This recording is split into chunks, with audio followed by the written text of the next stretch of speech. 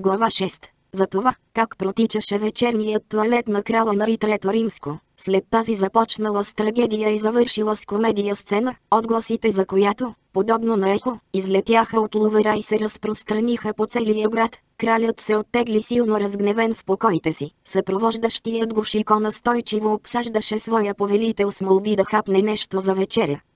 Не съм гладен, тросна се кралят и прекрачи прага по своята спалня. Възможно е, отвърна Шико, но аз, аз съм в бесен до крайност и ме мъчи желанието някого или нещо да ухапя, та дори това да бъде печена овнешка плешка. Кралят се направи, че нищо не чува, отметна плаща си и го захвърли върху леглото, свали шапката, забодена към косите му с дълги черни кърфици, и я запокити върху креслото. След това тръгна бързо към антрето, в което се намираха в съседство вратите от стаята на Сен Люк и спалнята на краля. Почакай ме тука, шуте, заповяда той на Шико, ще се върна. О, не бързай, синко, каза Шико, не бързай. Би ми се искало дори, продължи той, като се вслушваше в отдалечаващите се стъпки на Анари, да останеш по-дълго там, за да имам повече време да ти подготвя един малък сюрприз. Когато шумът от стъпките окончателно затихна, Шико отвори вратата към антрето и се провикна. Ей, има ли някой там? Притича един слуга. Кралят размисли, каза Шико, той заповяда да бъде поднесена тук изискана вечеря за две персони, за него и за Сен Люк. И посъветва да се обърне специално внимание на виното. А сега се поразтъпчете по-живо. Слугата се обърна върху токовете си и се втурна да изпълнява заповедта на Шико, без ни най-малко да се съмнява, че тя изхожда от краля. През това време на Трето Римско, както вече споменахме, мина в стаята, предоставена на Сен Люк. Последният, на време предупреден за визитата на краля, лежеше в постелята си и слушаше молитвите, които му четеше старият слуга, последвал го в лувера и споделил неговото заточение. Въгъла, в позлатеното кресло, свесил глава върху ръцете си, пажът, доведен от бил си, бе потънал в дълбок сън. Кралят обгърна с един поглед цялата тази картина. Какъв е този младеж тук? Подозрително попита той Сен Люк. Нима забравихте, Ваше Величество? След като ме затворихте тук, вие милостиво ми разрешихте да извикам един от моите пажове. Да, разбира се, отвърна Анари. Така че аз се възползвах от вашето разрешение, Ваше Величество. Ах, така значи? Разкаива ли се Ваше Величество, че ме дари с това малко развлечение? Осведоми се Сен Люк. Не, синко, не. Напротив. Забавлявай се, щом искаш. Как се чувстваш? Имам силна треска, Ваше Величество, оплака се Сен Люк. То ти личи. Цялото ти лице гори, малкият ми. Да проверим пулса ти, знаеш, че разбирам малко от медицина. Сен Люк неохотно му протегна ръката си. Ами да, каза кралят, пулсът е прекъсващ, повишен. О, Ваше Величество, просте на Сен Люк, аз наистина съм сериозно болен. Успокой се. Ще ти изпратя моя придворен лекар. Бъдете милостив, Ваше Величество, не мога да понасям мирон. Аз самичък ще поема грижите за теб. Ваше Величество, не ще допусна. И ще наредя да пренесат леглото ми в твоята спалня, Сен Люк. Ще бъбрим до сутринта, имам да ви разправям с ума работи. Ах! Отчаяно възкликна Сен Люк. Вие се наричате човек, разбиращ от медицина, наричате се мой приятел, а искате да ме оставите без сън. Кълна се в разпятието, лекарю, отнасяте я по странен начин с вашите пациенти. Кълна се в разпятието Христово, Ваше Величество, някак твърде особено обичате своите приятели. Как? Ти искаш да останеш насаме с своите страдания? Ваше Величество, с мен е Жан, моят паш. Но той спи. Ето защо предпочитам да бъда обслужван от слуги, поне ще ме оставят да спя. Но позволи ми поне заедно с него да побдя край твоята постеля, кълна ти се, ще заговоря с теб само след като се събудиш. Ваше Величество, аз се събуждам зъл като дявол и трябва много да сте ми свикнали, за да ми простите всички глупости, които бих ви наговорил, докато окончателно се разсъня. Остани поне, докато завърша вечерния си туалет. А ще ми бъде ли позволено след това да се върна в леглото си? То се знае. Що ме така, моля? Но ви предупреждавам, ще бъда жалък придворен, честна дума. Още от сега дяволски ме кара на сън. Можеш да се прозяваш колкото си искаш. Какъв деспотизъм? Каза Сен Люк. нима не разполагате с всички мои приятели. Как не, как не? Всички са в отлично състояние. Бил си ги е наредил от добре по-добре. Шомберг е намушкан в бедрото, нада е пернон китката на ръката е разрязана като испански ръкав. Келюс все още не може да дойде на себе си след да раздръжката на шпагата по главата и след днешните прегръдки. Остават умръзналият ми до смърт да ой можирон, който вечно за нещо мърмори. Е, хайде, събуди този спящ красавец да ти подаде халата. Ще благоволите ли, Ваше Величество, да ме оставите за минутка? Това пък защо? Уважението ми към вас. Ах, какви глупости! Ваше Величество, след пет минути ще бъда при вас. След пет минути, съгласен. Но не повече, чуваш ли? А за тези пет минути си припомни за мен някакви забавни истории, че да можем да се посмеем малко. С тези думи, получил наполовина онова, което искаше да получи, кралят излезе също удовлетворен наполовина. Вратата още не се беше затворила след него, когато пажът внезапно се стресна и с един скок се озова до завесата. Ах, Сен Люк, промълви той, когато шумът от кралските стъпки затихна, вие отново ме оставяте. Боже мой! Каква мъка! Умирам от страх. Ами ако ме открият? Мила ми жена, отвърна Сен Люк, Гаспар, който стои пред вас, ще ви защити от всякаква нескромност. И той и посочи стария слуга. Не е ли по-добре да се махна от тук? Цялата почервеняла, предложи младата жена. Ако това е вашето непременно желание, жена, печално заговори Сен Люк, ще заповядам да ви съпроводят до двореца Монморанси, защото единствено само на мен е забранено да напускам лувера. Но ако бъдете толкова добра, колкото и прекрасна, ако намерите в сърцето си поне капка състрадание към нещастния Сен Люк, ще почакате тук няколко минути. Главата ми, нервите ми, вътрешностите ми, всичко непоносимо ще ме заболи, кралят няма да издържи да вижда пред себе си такава жалка фигура и ще ме отпрати в леглото. Жана сведе глава. Е, добре, каза тя, ще почакам, но ще ви кажа като краля, не се бавете. Жана, ненагледна моя, вие сте възхитителна.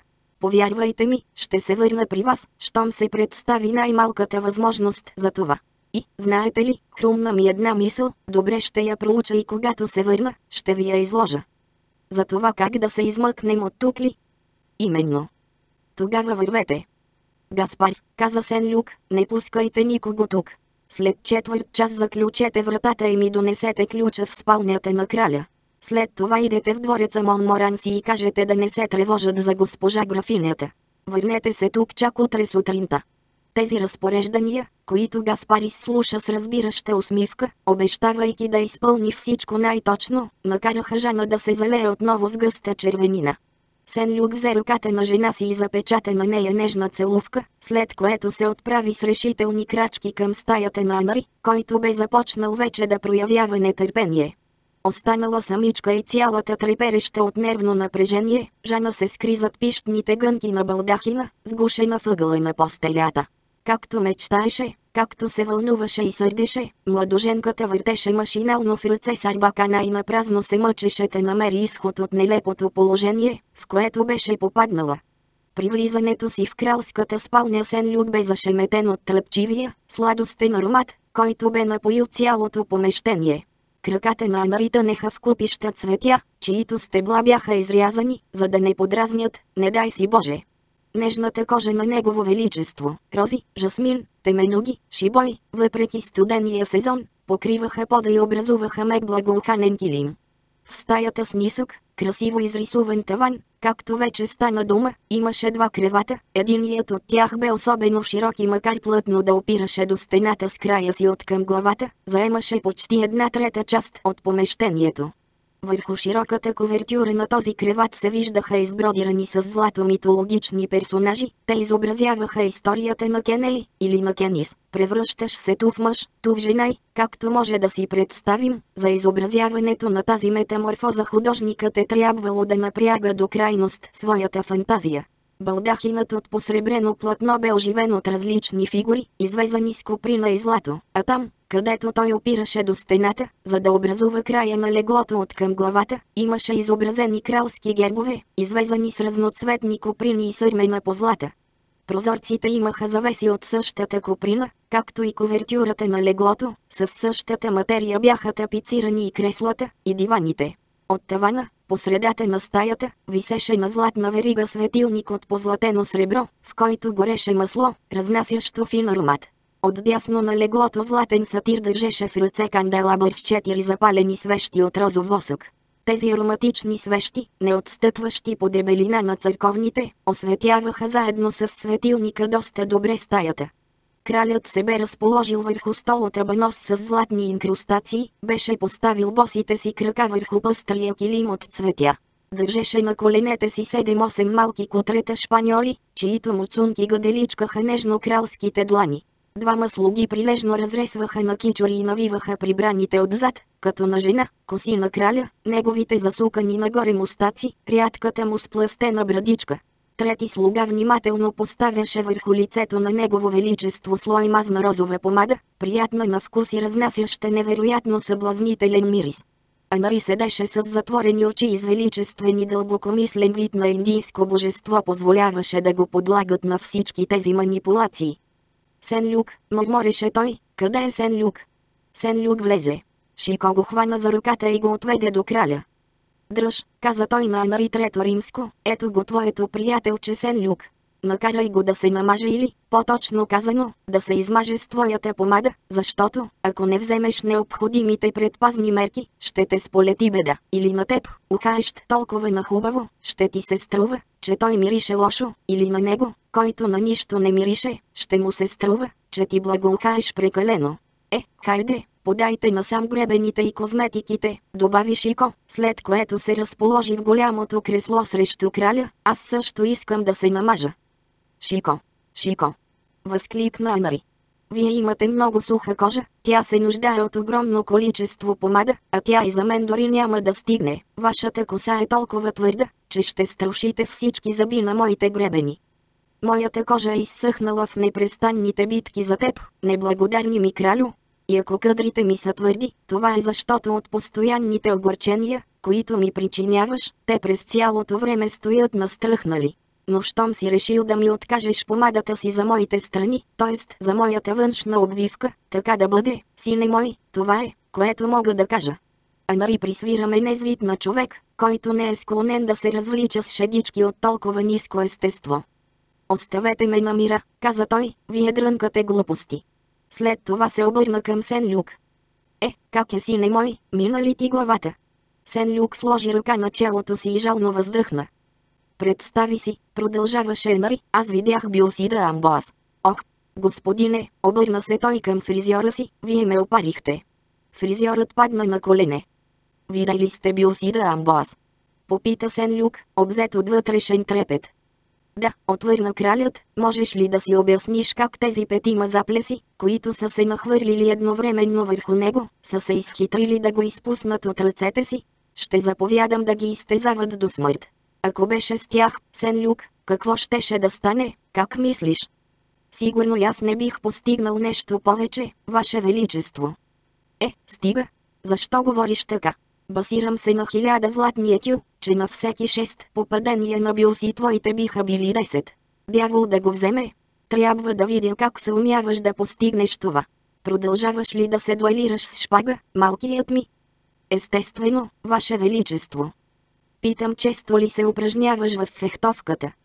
Почти всеки дневно, когато съм здрав, но когато съм болен, не ме бива за нищо. Колко пъти си успявал да ме докоснеш? Ние с вас сме приблизително на едно равнище в фехтуването, Ваше Величество. Да, но съм по-добър в това отношение от Билси.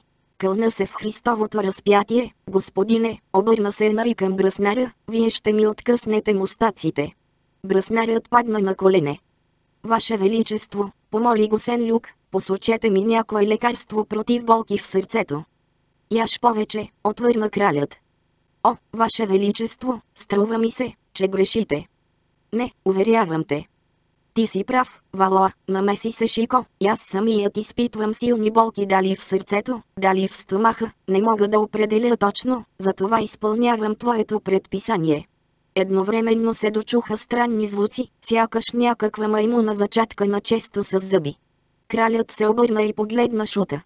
Шико, справил се самостоятелно с обилната вечеря, която бе поръчал за двамина от името на краля, весело потракваше с зъби, докато поглъщаше нещо от блюдото от японски порцелан.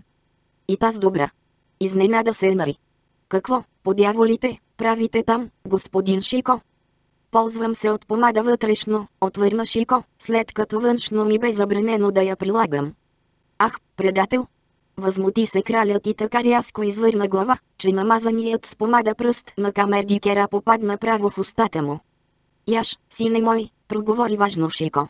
Не съм такъв деспот като тебе, външно или вътрешно, все едно, разрешавам ти и двете употреби. Господине, вие ще ме задушите, каза Анари на камердинера. Камердинерът падна на колене, както това бяха направили преди него фризьорът и браснарят. Да дойде тук капитанът на гвардейците. Закрещя Анари. Да дойде незабавно капитанът. А за какво ти е притрябвал твоят капитан? Осведоми се Шико. Той натопи пръст в порцелановото блюдо и хладнокръвно взе да го облизва. Нека наниже Шико на шпагата си и да приготви от него, колкото и костелив да се окаже, печено за моите песове. Шико скочи на крака и нахлузи шапката си обратно. Кълна се в Христовото разпятие. Запищя той. Шико да бъде хвърлен на кучетата, четириногите твари да бъдат нахранени с един благородник. Хубаво, сине мой, нека само се появи твоят капитан, ще видим тогава кой кого. С тези думи шутът измъкна от ножницата дългата си шпага и толкова смешно започна да я върти пред фризьора, бръснаря и камердинера, че кралят прихна да се смее. Но аз съм гладен, жално простена той, а този измамник е оплюскал цялата вечеря. Ти си голям капризник, Анари, отвърна Шико. Колко пъти те каних на трапезата, но ти не пожела. В крайен случай за теб има останал малко бульон. Колкото до мен, аз вече се нахраних и отивам да спя. Докато траеше тази словесна престрелка, се появи старият Гаспар и връчи на своя господар ключа от стаята. Аз също се прибирам, каза Сен Люк. Чувствам, че краката ми повече не ме държат, още малко и ще наруша всякакъв етикет, ще се свлека в присъствието на краля в нервен припадък на земята. Целият ме тресе. Дръж, Сен Люк, каза кралят и протегна на младежа две от кутретата си, вземи ги с себе си, непременно ги вземи. А какво ще заповядате да правя с тях? Пъхни ги под завивката си, болестта ще те остави и ще се прехвърли на тях. Покорно благодаря, Ваше Величество, каза Сен Люк и постави двете кученца обратно в кошницата. Нямам доверие на вашето лечение. Но ще ще те навестя, Сен Люк, обеща му кралят. О, за Бога, не се затруднявайте, Ваше Величество, замоли му се Сен Люк. Вие може да ме разбудите внезапно, а казват, че това можело да доведе до епилепсия. С тези думи Сен Люк се поклони на краля и напусна стаята му.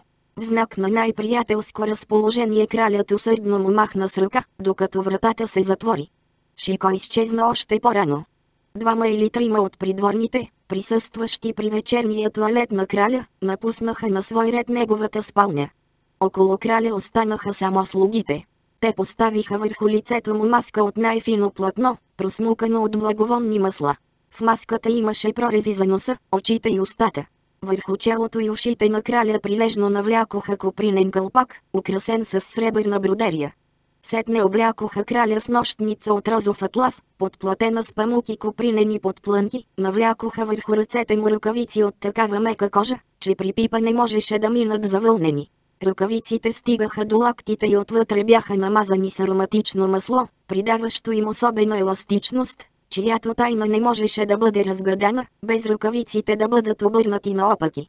Когато таинството на кралския туалет бе завършено, връчиха на Анари златна купа с силен бульон, но, преди да поднесе съда до устата си, той отля половината от бульона в друга купа, не отличаваща се по нищо от тази, която държеше в ръцете си, и нареди да я отнесат на Сен Люк с пожелание за лека нощ. Сетне дойде ред до Бога, с когото Анари, несъмнено по силата на прекомерната си заетост, се отнесе доста небрежно. Той се ограничи с това, че избъбри на бърза ръка една единствена молитва и дори не се докосна до осветената бройница. Накрая нареди да оправят постелята му, напръскана с кориандър, тъмян и канела, и легна. Настанил се върху многобройните възглавници, а Нари заповяда да съберат настланите цветя, от които в стаята бе станало душно. Прозорците за няколко секунди бяха разтворени, за да се проветри помещението. След това в мраморната камина пламнаха сухи лозови пръчки, лумна пищен ярък огън, който мигом угасна, но по цялото помещение се разля приятна топлина. Тогава слугите спуснаха всички завеси и пердета и вкараха в спалнята огромен пес, кралския любимец Нарцис. Той се озова с един скок върху кралската постеля, потъпка слапи отгоре, повъртя се и легна напреки в краката на стопанина си. Последният слуга, останал в стаята, духна свещите от розов восък в ръцете на златния сатир, намали светлината на нощния светилник, като смени фитила му с потесени, на свой ред, се измъкна на пръсти от спалнята. И ето че кралят на Франция стана по-спокоен, по-безгрижен и по-безпаметен от безделничещите монаси на своето кралство, настанени в богатите манастири, и забрави за това, че на света има Франция. Той заспа. Половин час по-късно бдящите в коридорите часови, които виждаха от постовете си закритите с завеси прозорци на кралската спалня, забелязаха, че светилникът в нея угасна и сребристото сияние на луната замени върху стъклата украсяващата ги отвътре нежна розова светлина.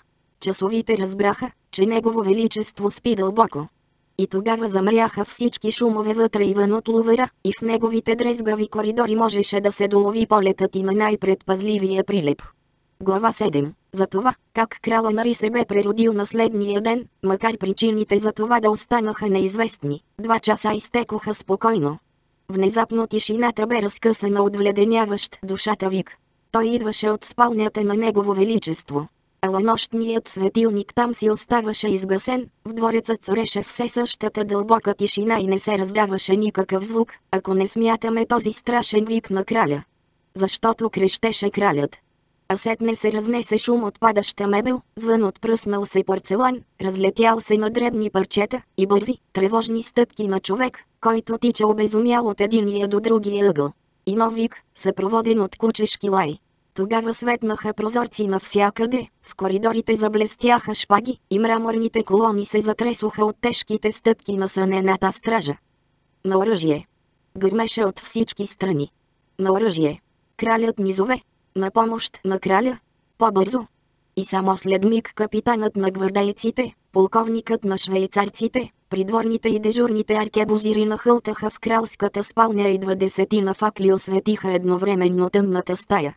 Креслото бе преобърнато, подът застлан с парчета от порцелан, постелята, измачкана, и завивките разхвърляни по целия пот, а до кревата, Анари, нелепи страшен в нощните си одежди, косите му, штръкнали, облещените му очи, вперени в една точка. Дясната ръка на краля бе протегната напред и трепереше като лист срещу вятър. Лявата му ръка се бе вкопчила трескаво в дръжката на безсъзнателно грабнатата от него шпага.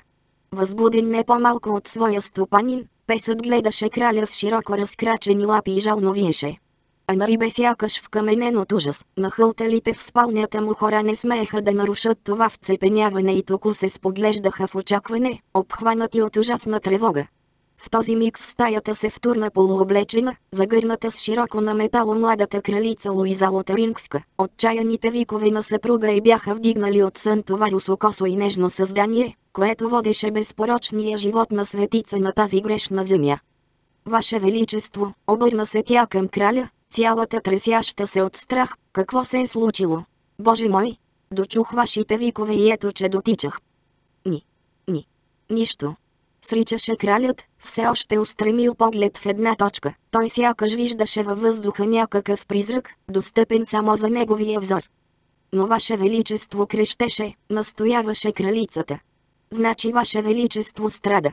Ужасът бе толкова явно изразен върху лицето на краля, че постепенно се предаде на всички събрани в спалнята. Едни се отдръпнаха до стената, други пристъпиха по-близо до краля и напрягаха очи, за да разберат дали не е ранен, дали не го е ударил гръм или пък го е ухапала някоя отровна градина. О, Ваше Величество!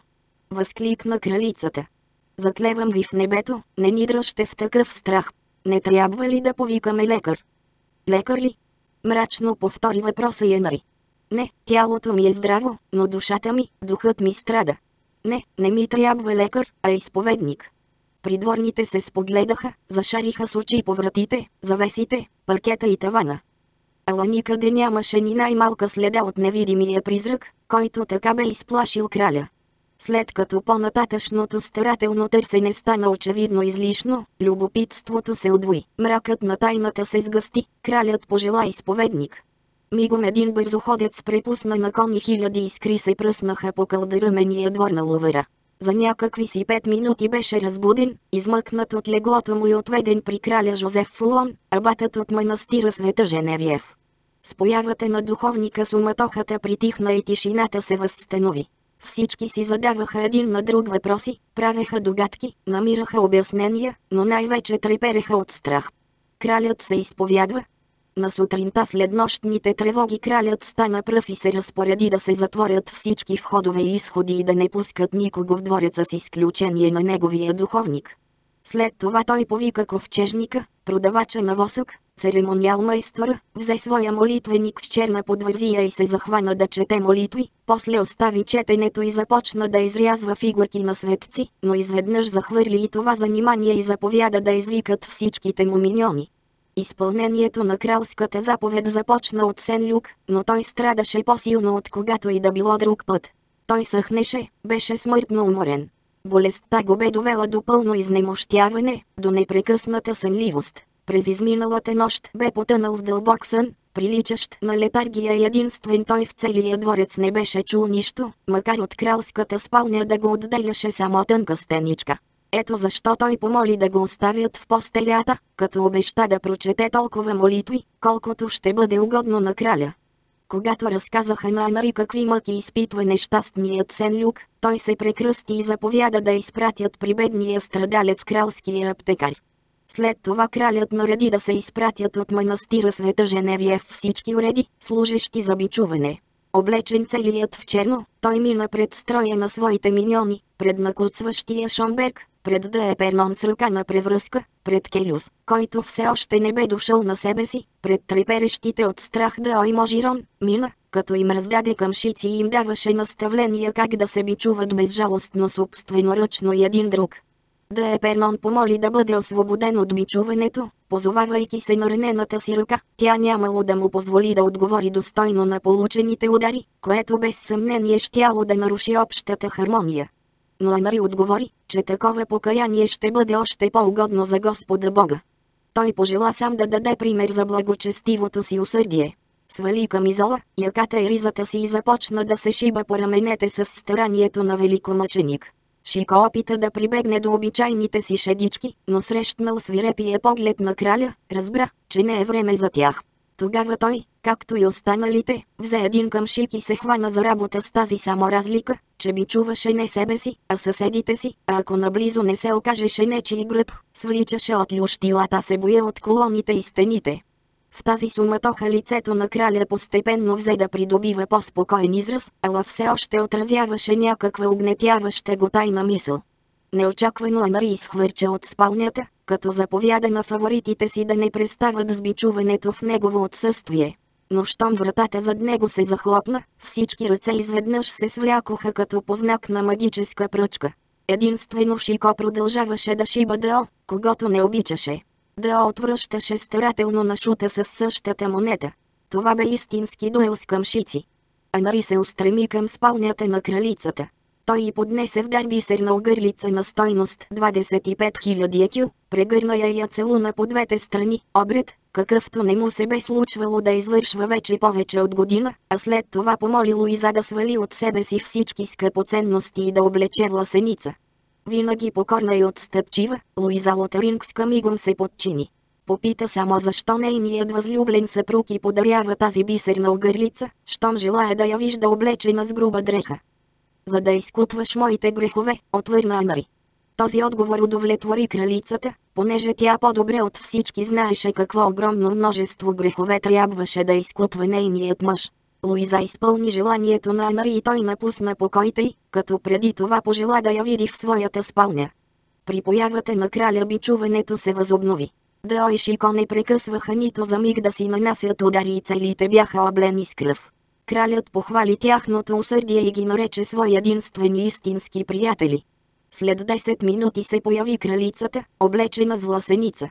Незабавно на целия двор бяха раздадени свещи и придворните, контета и кокетки, както и преданите на своя крал и на светата дева парижани, въпреки лошото време тръгнаха към Монмартър боси по леда и снега. Отначало всички те трепереха от студ, но скоро мнозина се стоплиха от яростните удари, които Шико щедро раздаваше на уния, които имаха неблагоразумието да се окажат в обсега на неговия къмшик. Део се призна за победен и се държеше на разстояние 50 на крачки от Шико. Към 4 часа през деня мрачното шествие завърши, манастирите получиха богати пожертвования, краката на всички придворни се подуха, кожата по гърбовете им беше съдрана, кралицата се появи пред очите на целия народ пориза от неизбелено платно, кралят, с бройница, чието зърна бяха с вида на черепи. И сълзите, и воплите, и молитвите, и тъмянът, и песнопенията, всичко беше в изобилие. Както виждате, денят се оказа изключителен. Действително, за угода на краля всички покорно търпяха студа и ударите на къмшиците и никой не можеше да си обясни защо техният повелител, завчера все още весело танцуващ, днес с такава самозабрава се бе отдал на това печално покаяние и умъртвяване на плътта. Хугенотите, лигистите и свободомислещите се смееха, като гледаха как се движи изпълненото с покаяние шествие и в качеството си на гнусни по своята природа заядливци, дръзваха да отправят хапливи забележки. Миналия път, май, процесията ви беше къде по-внушителна, а и каещите се отнасяха към бичуването с по-голяма отговорност, макар че тези твърдения ни най-малко не отговаряха на истината. Анари се върна в ловера гладен, с рамене, нашарени с сини и тъмно-червени бръзди. По време на шествието той не отстъпваше нито на крачка от кралицата и възползвайки се от всяко прекъсване, от всяко спиране на процесията около някой параклис, и връчваше нови и нови подаръци или строеше планове за съвместно поклонение до светите места.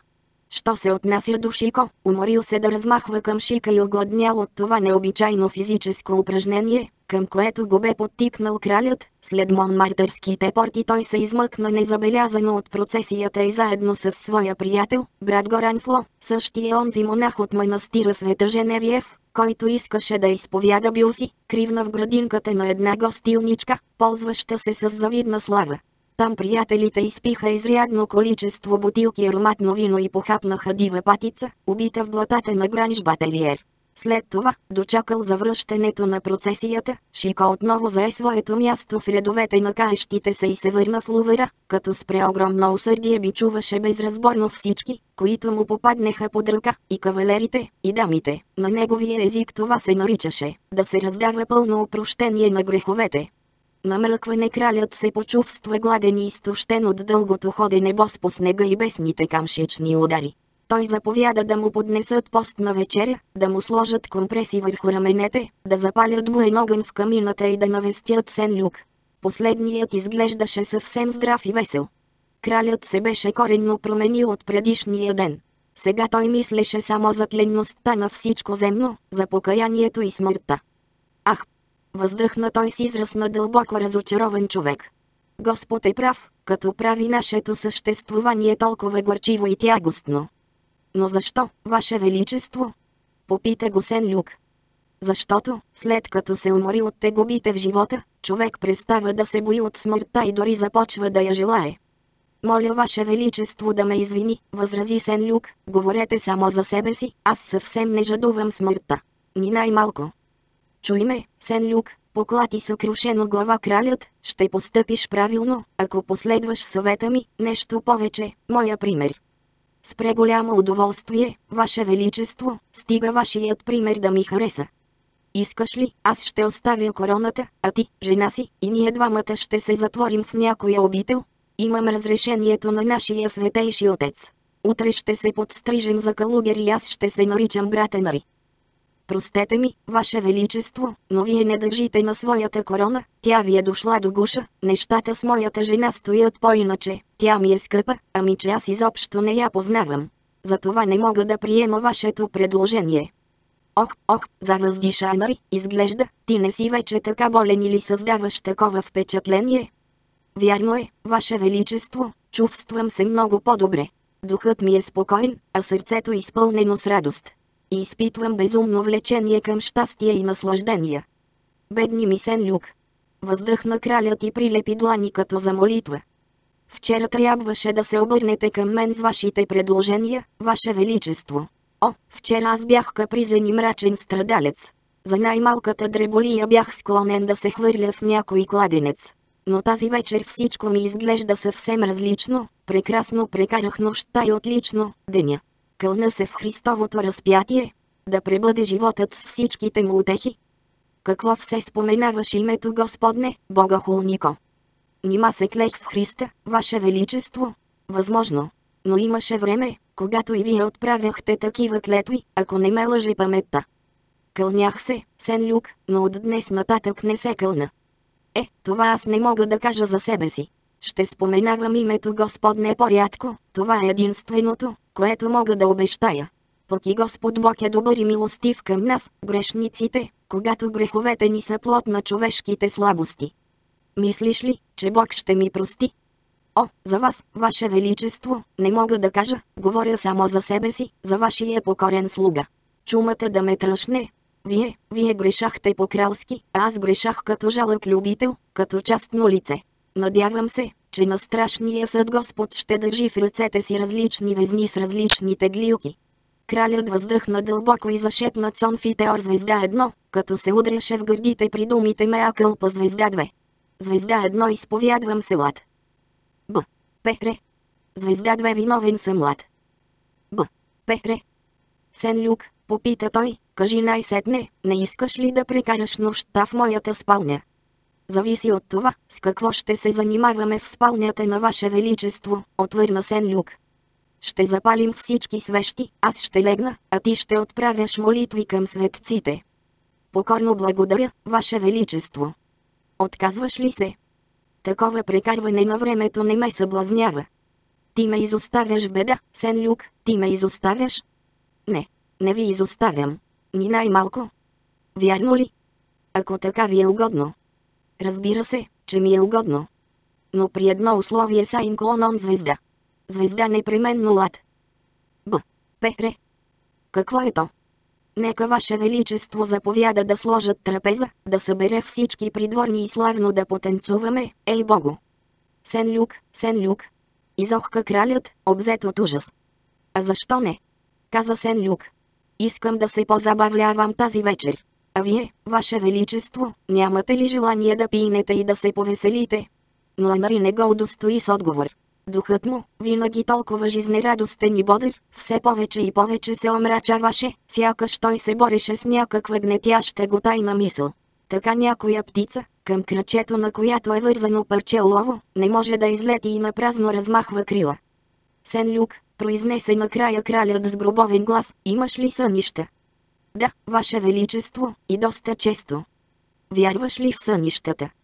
От благоразумие. Как да го разбирам? Много просто. Сънищата успокояват, утешават ни в житейските горести. Така, например, тази нощ сънувах превъзходен сън. Какъв, разкажи. Сънувах, че моята жена. Все за жена си ли мислиш, Сен Люк? Повече от всеки друг път. Ах! Съкрушено произнесе кралят и извърна очи към тавана. Сънувах, продължи Сен Люк, че моята жена запазила прекрасното си лице, защото, Ваше Величество, жена ми е красавица. Уви, да, каза кралят. Ева също е била красавица, нещастен грешнико, ала Ева е погубила всички нас. А, ето защо сте толкова зле настроен към жена ми. Но да се върнем към съня ми, Ваше Величество. Аз, каза кралят, също имах знаменателен сън. И така, моята жена, запазила прекрасното си лице, е придобила крила и тяло на птица, благодарение на което е прилетяла над стените на ловера и снежен писък притиска главица до стъклото на моя прозорец, а аз разбирам, че с този писък тя иска да ми каже, отвори ми прозореца, Сен Люк, отвори ми, мой скъпи съпруже. И ти отвори ли? Попита кралят, намиращ се на границата на пълното отчаяние. Че как иначе? Възкликна Сен Люк. Спуснах се през глава да я отворя. Суетен човек си ти. Суетен, ако така ви е угодно да смятате, Ваше Величество. Но в този момент, надявам се, ти си се събудил. Напротив, Ваше Величество, с всички сили се мъчех да не се събуждам. Толкова хубав беше сънят ми. Значи ти продължи да я виждаш. Колкото можех, Ваше Величество. И тази ли нощ се надяваш да я видиш? Естествено, надявам се на продължение, и, не се сърдете, Ваше Величество, но това е причината да не мога да приема Вашата милостива покана да се заема с четенето на молитви. Ако не ще трябва да се спи, Ваше Величество, бих предпочел поне да получа нещо равностойно в замяна на изпуснатото сеновидение. И както вече казах, ако Ваше Величество благоволи да заповяда да сложат трапеза и да викнат музиканти. Стига толкова, Сен Люк, стига, каза кралят и стана от мястото си. Ти се погубваш, а и мен ще погубиш, ако те задържа още малко при себе си. Прощавай, Сен Люк, уповавам се, че небето ще ти изпрати вместо този дяволски сън изкусител спасителен сън, който да те подтикне утре да се покажеш заедно с нас, и тогава ние всички ще се спасим. Съмнявам се, Ваше Величество, нещо повече, сигурен съм, че няма да постигнем общо за всички ни спасения и за това ще се осмеля да посъветвам Ваше Величество да пръждоса тази вечер от лувера този непоправим безбожник Сен, Люк, който явно се кани да умира неразкаян. Не, каза Анари, не, надявам се, че тази нощ Божията благодат ще осени и теб, както можа да осени и мен, грешния. Лека нощ, Сен Люк, ще се моля за теб. Лека нощ, Ваше Величество, аз ще сънувам и за вас. И Сен Люк затенаника първия куплет от една повече от лекомислена песничка, която Анари обичаше да си напява, когато биваше в добро настроение. Познатият мотив принуди краля да си тръгне по-бързо, той захлопна след себе си вратата на стаята и се върна в спалнята си, като нашепваше. Господи, владико на живота ми, Твоят гняв е справедлив и законен, защото светът от ден на ден става все по-лош. Глава 8. За това, как кралят се боеше от страха, който изпитваше, и как Шико се боеше да не изпита страх. След като излезе от Сен Люк кралят се убеди, че заповедта му е вече изпълнена и целият двор се е събрал в главната галерия. Тогава той отрупа своите приятели с какви ли не милости. Заточи в провинцията Дао, да е Пернон и Шомберг, заплаши да даде под съд Можирон и Келюс, ако още веднъж посмеят да нападнат Бюси, протегна милостива ръка на Бюси за целувка, а брат си Франсуа прегърна и дълго го притиска до гърдите си. Беше крайно внимателен с кралицата, наговори с ума любезности и придворните дори помислиха, че за наследника на френския престол няма да има пречки. Наближаваше обаче обичайният час за лягане и не бе трудно да се забележи, че кралят отлага, колкото е възможно, своя вечерен туалет. Най-сетне часовникът в Лувър удари 10. А нарибавно огледа придворните, сякаш размисляше на кого да възложи заниманието, от което се бе отклонил Сен Люк. Шико пресрещна погледа му. И таз хубава. Каза той с обичайната си безцеремонност. Тази вечер, струва ми се, ти ме поглеждаш дяволито, Анари. Може би търсиш на кого да харижеш някое солидно абатство с 10 000 ливри доход. Провали се в дън земя, нечиста сила. А какъв похватен игумен ще излезе от мен? Давай го насам това твое абатство, сине мой, подари ми го. Съпроводете ме, Шико, каза кралят. Лека нощ, господа. Аз отивам да спя. Шико се обърна към придворните, засука мустак, зае грациозна поза и премрежил поглед, повтори думите на Анари, подражавайки на гласа му. Лека нощ, господа, лека нощ. Ние отиваме да спим. Придворните захапаха устни, за да не прихнат, а кралят почервеня. Ах, да, сепна се Шико, а къде е моят фризьор, къде е моят браснар, къде е моят камердинер и преди всичко къде е помадата ми? Не, възрази кралят, повече няма да имаме нужда от всичко това. Започва пост и аз пристъпвам към покаяние. Ах, колко жалко за помадата, въздъхна Шико. Кралят и шутът влязоха в познатата ни вече кралска спалня. И таз хубава, Анари? Каза Шико. Ще рече единствено аз съм спечелил благоволението ти, така ли? Ще рече, не можеш да минеш без мен. Ще рече, аз съм ти по-привлекателен и от този Купидон Келюс. Замълчи, шуте. Заповяда кралят.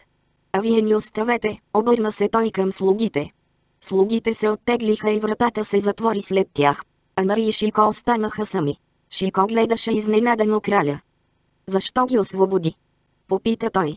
Още не са ни намазали с козметични масла. Да не би да искаш да ме намажеш собственоръчно с своята кралска десница? И защо не? Тази епитимия не е по-лоша от всяка друга. Анари не отговаряше. Те бяха сами и двамата крале, безумецът и мъдрецът, се погледнаха един друг в очите. Да се помолим, каза Анари. Мерси. каква чест! Възкликна Шико. Няма що, приятно прекарване на времето. Ако си ме поканил за това, по-добре да се върна обратно в проклетата компания, в която се намирах. Прощавай, сине мой. Лека. Нощ. Останете. Заповяда Анари. Охо. Възкликна Шико и се изправи. Майче се връщаме към тиранията. Ти си деспот. Фаларис. Дионисий. Омръзна ми вече тук. Днес цял ден налагах по твоя милост с къмшик от волски жили раменете на най-добрите си приятели, а с настъпването на вечерта ти искаш да започнем всичко отново. Чумата да ме тръшне. Да отложим това занимание, Анари.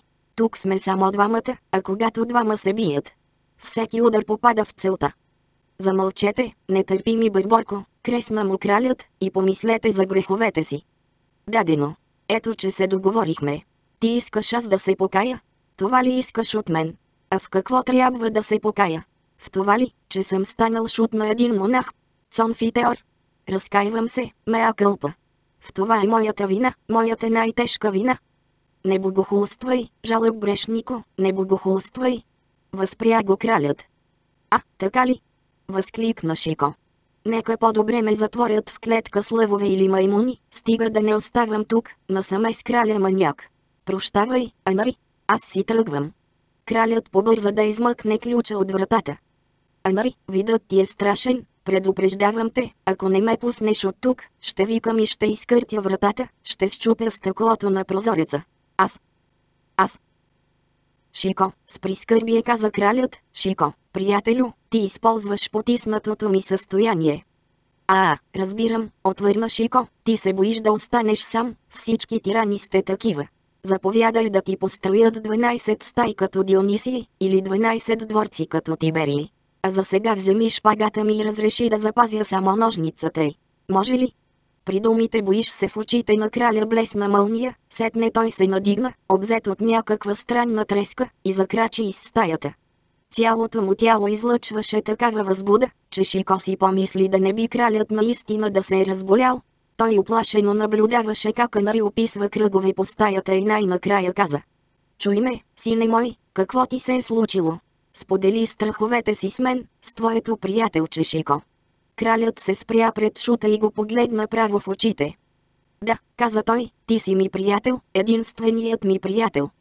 Впрочем в абатство Валансо мястото на игумена е свободно, вметна Шико. Чуй ме, Шико, умееш ли да пазиш тайна? Няма игумени в абатство Питивиер, а там пекат чудесни баници с чучулиги. Като оставим твоите шутовщини, продължи кралят, ти си смел човек. Тогава защо ми е абатство, дай ми по-добре полк. И дори можеш да дадеш разумен съвет. В такъв случай не ми трябва твоят полк, назначи ме за съветник. Ах, не, размислих. По-добре полк или абатство. Не искам да бъда съветник. Тогава ще бъда принуден във всичко да се съгласявам с краля. Замълчете, Шико, замълчете, наближава часът, ужасният час. Какво пак ви прихвана? Попита Шико.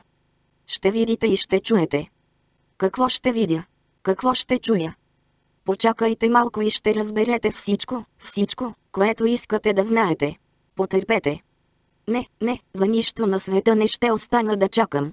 И що за бясна бълха е ухапала баща ти и майка ти през оная злощастна нощ, когато са решили да те заченат, Шико, храбър човек ли си ти? Да, и се гордея с това. Но няма да подлагам храбростта си на такова изпитание. Продани се, нечиста сила. Ако кралят на Франция и на Полша крещи нощем, и то толкова силно, че вдига на крака целия лувър, какво мога да направя? Аз съм малък човек и мога да опозоря дори твоята спалня. Прощавай, Анари, извикай своите капитани, швейцарци, стражи и аркебусци, а на мен ми позволи да се измъкна на свобода.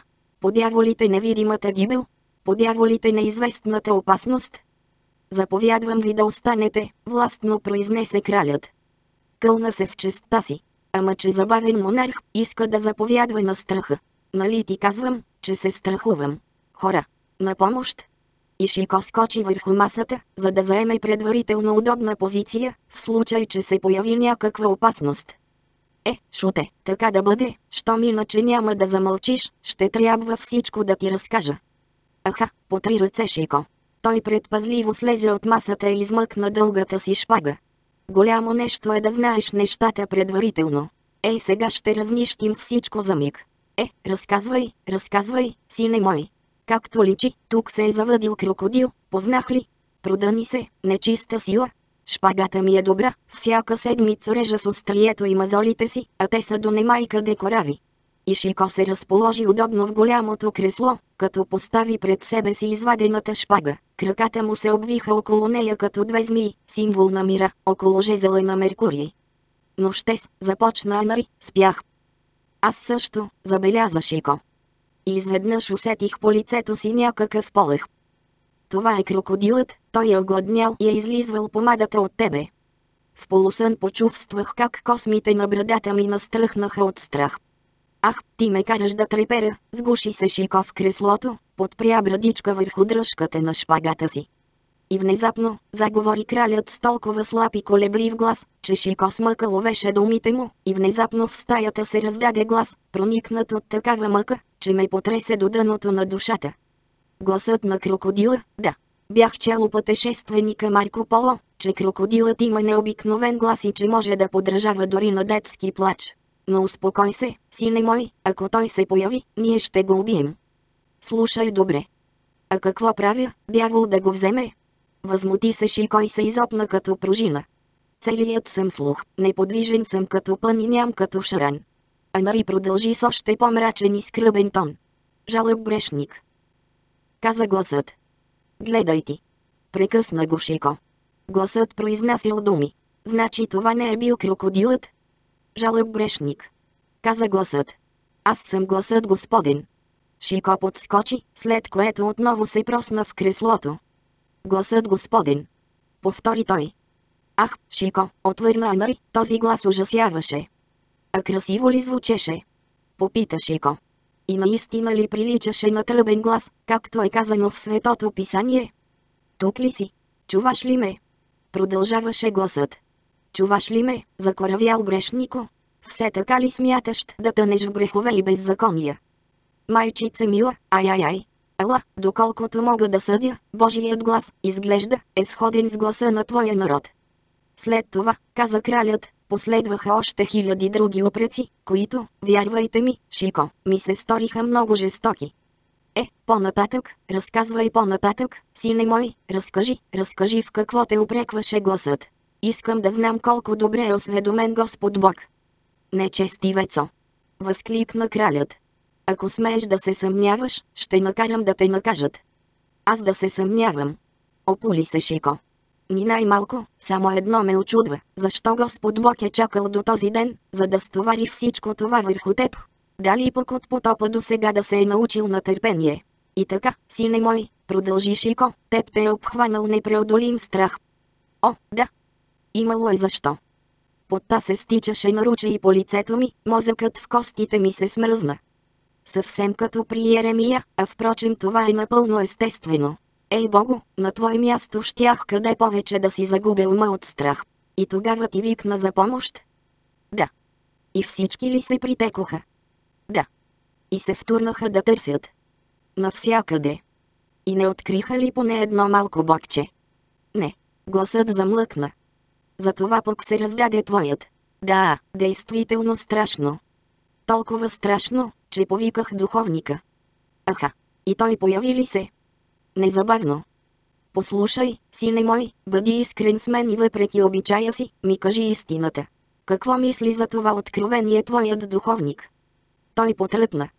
Има си хаз да не потръпне. И се прекръсти, и, както и Бог, ми заповяда да се покая. Отлично, покаянието никога не е излишно. Но какво каза той за това, което ти се е присънило или, по-скоро, си дочул? Каза ми, че това е знамение отгоре, чудо, и че трябва да помисля за спасението на държавата. Та за това тази сутрин аз. Какво си направил днес сутринта, сине мой? Дадох 100 000 ливри на езуитите. Великолепно. И нашибах тялото си, както и телата на моите любимци с къмшик. Прекрасно. И това ли е всичко? Как така дали е всичко? А ти сам какво мислиш, Шико? Този път те питам не като шут, а като разумен човек, като приятел. Ах, Ваше Величество, сериозно отвърна Шико, струва ми се, че това е било кошмар. Така ли мислиш? Всичко това ти се е присънило и сънят ти няма да се повтори, ако не си пълниш главата с подобни дивоти. Сън ли? Каза Анари и поклати недоверчиво глава. Не, не. Вече се бях събудил, залагам главата си, Шико. Ти си спал, Анари. Ни най-малко, очите ми бяха широко разтворени. Случва се, и аз спя с отворени очи. Но аз можах да видя с собствените си очи, а това е невъзможно, когато наистина спиш. И какво можа да видиш? Видях лунна светлина от прозорците и зловещия блясък на аметист върху дръжката на моята шпага, на същото това място, където седиш сега, Шико. А светилникът, какво стана с него? Той угасна. Сън, любезни ми, чисто и просто сън. Защо не ми вярваш, Шико? Нима не си чувал, че Господ говори с кралете всеки път, когато се кани да извърши на земята някакви грандиозни промени? Да, той говори е тях, това е истина, каза Шико, но с такъв тих глас, че те никога не го чуват. Но защо не искаш да ми повярваш? Защото си чул всичко много добре. Така да бъде. А знаеш ли защо те накарах сега да останеш? Запита го кралят. Дявол знае. Отвърна Шико. За да чуеш и ти самият, какво ще каже гласът.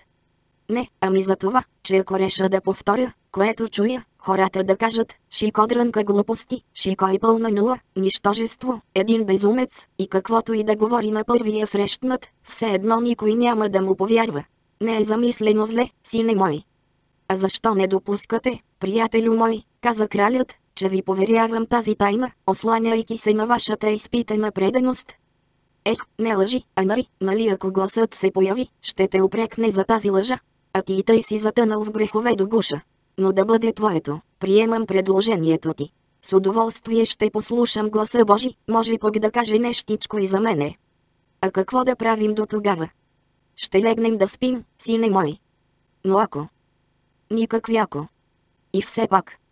Не мислиш ли, че ако ще стоим така, няма да попречим на гласа Господин да заговори? Кралят надхвърля по ръст поданиците си само с големината на короната си, а когато главата ти е непокрита, повярвай ми, Анари, ти си на ръст колкото и всички останали, че дори по-нисък от някой. Добре, съгласи се кралят, значи оставаш с мен. Споразумяхме се. Дадено, аз си лягам. Отлично. Но ти няма да легнеш, нали? И не мисля. Ще си сваля само камизола. Както намериш за добре. Панталоните няма да свалям. Правилна предпазна мярка. А ти? Аз ще остана в това кресло. Няма ли да заспиш? За това не гарантирам. Сънят, както и страхът, сине мой, не зависят от нашата воля. Но поне се постарай да не заспиш. Успокой се, ще се пощипвам от време на време. Впрочем гласът ще ме разбуди. Не се шегува из гласа, предупреди Гланари, който вече поставяше крака си върху постелята, но мигом го свали обратно на пода. Е, хайде, каза Шико. Да не чакаш аз да те сложа в леглото. Кралят въздъхна, огледа тревожно всички ъгли и кьошенца в стаята и треперейки с цялото си тяло, се пъхна под завивката. Да, каза Шико, сега е моят ред. И се изтегна в креслото, като се обгради от всички страни с възглавници и възглавнички. Е, как се чувствате, Ваше Величество? Добре, отзова се кралят. А ти? Отлично. Лека нощ, Анари. Лека нощ, Шико, само гледай да не заспиш. Чумата да ме тръшне. Не се и каня, каза Шико и широко се прозя. И двамата затвориха очи, кралят, за да се престори на заспал, а Шико, наистина да заспи. Глава 9. За това, как гласът Господен се излъга и разговаря с Шико, въобразил си, че говори с Негово Величество. Близо десетина минути кралят и Шико лежаха в пълно мълчание почти без да помръднат. Но изведнъж Анари потръпна като ожилен, рязко се надигна на лакти и седна в постелята. Това раздвижване на краля и вдигнатият от него шум измъкнаха Шико от състоянието на сладката дрямка, предхождаща съня, и той също зае седнало положение. Кралят и шутът се спогледаха с пламтящи очи. Какво има? Тихо попита Шико. Същият полъх, още по-тихо отвърна кралят. Ето, пак. В този миг една от свещите в ръката на златния сатир угасна, след нея втора, трета и, накрая, четвъртата и последна. Охо! Каза Шико. Бива си го ветрецът. Не успя да завърши последната дума, когато светилникът на свой ред угасна и сега стаята бе осветявана само от последните отблясъци на огъня, догарящ в камината. Горещо, промърмориш и кой се измъкна от креслото. Сега той ще заговори, простена кралят изкри глава под завивката. Сега ще заговори. Ще го чуем, каза Шико. И наистина в спалнята се разнесе дрезгав и от време на време изсвирващ глас, който излизаше сякаш някъде от прохода между стената и леглото на краля. Закоравял грешнико, тук ли си? Да, да, господи, отзова се нари стракащи зъби. Охо! Каза Шико. Ама че простуден глас.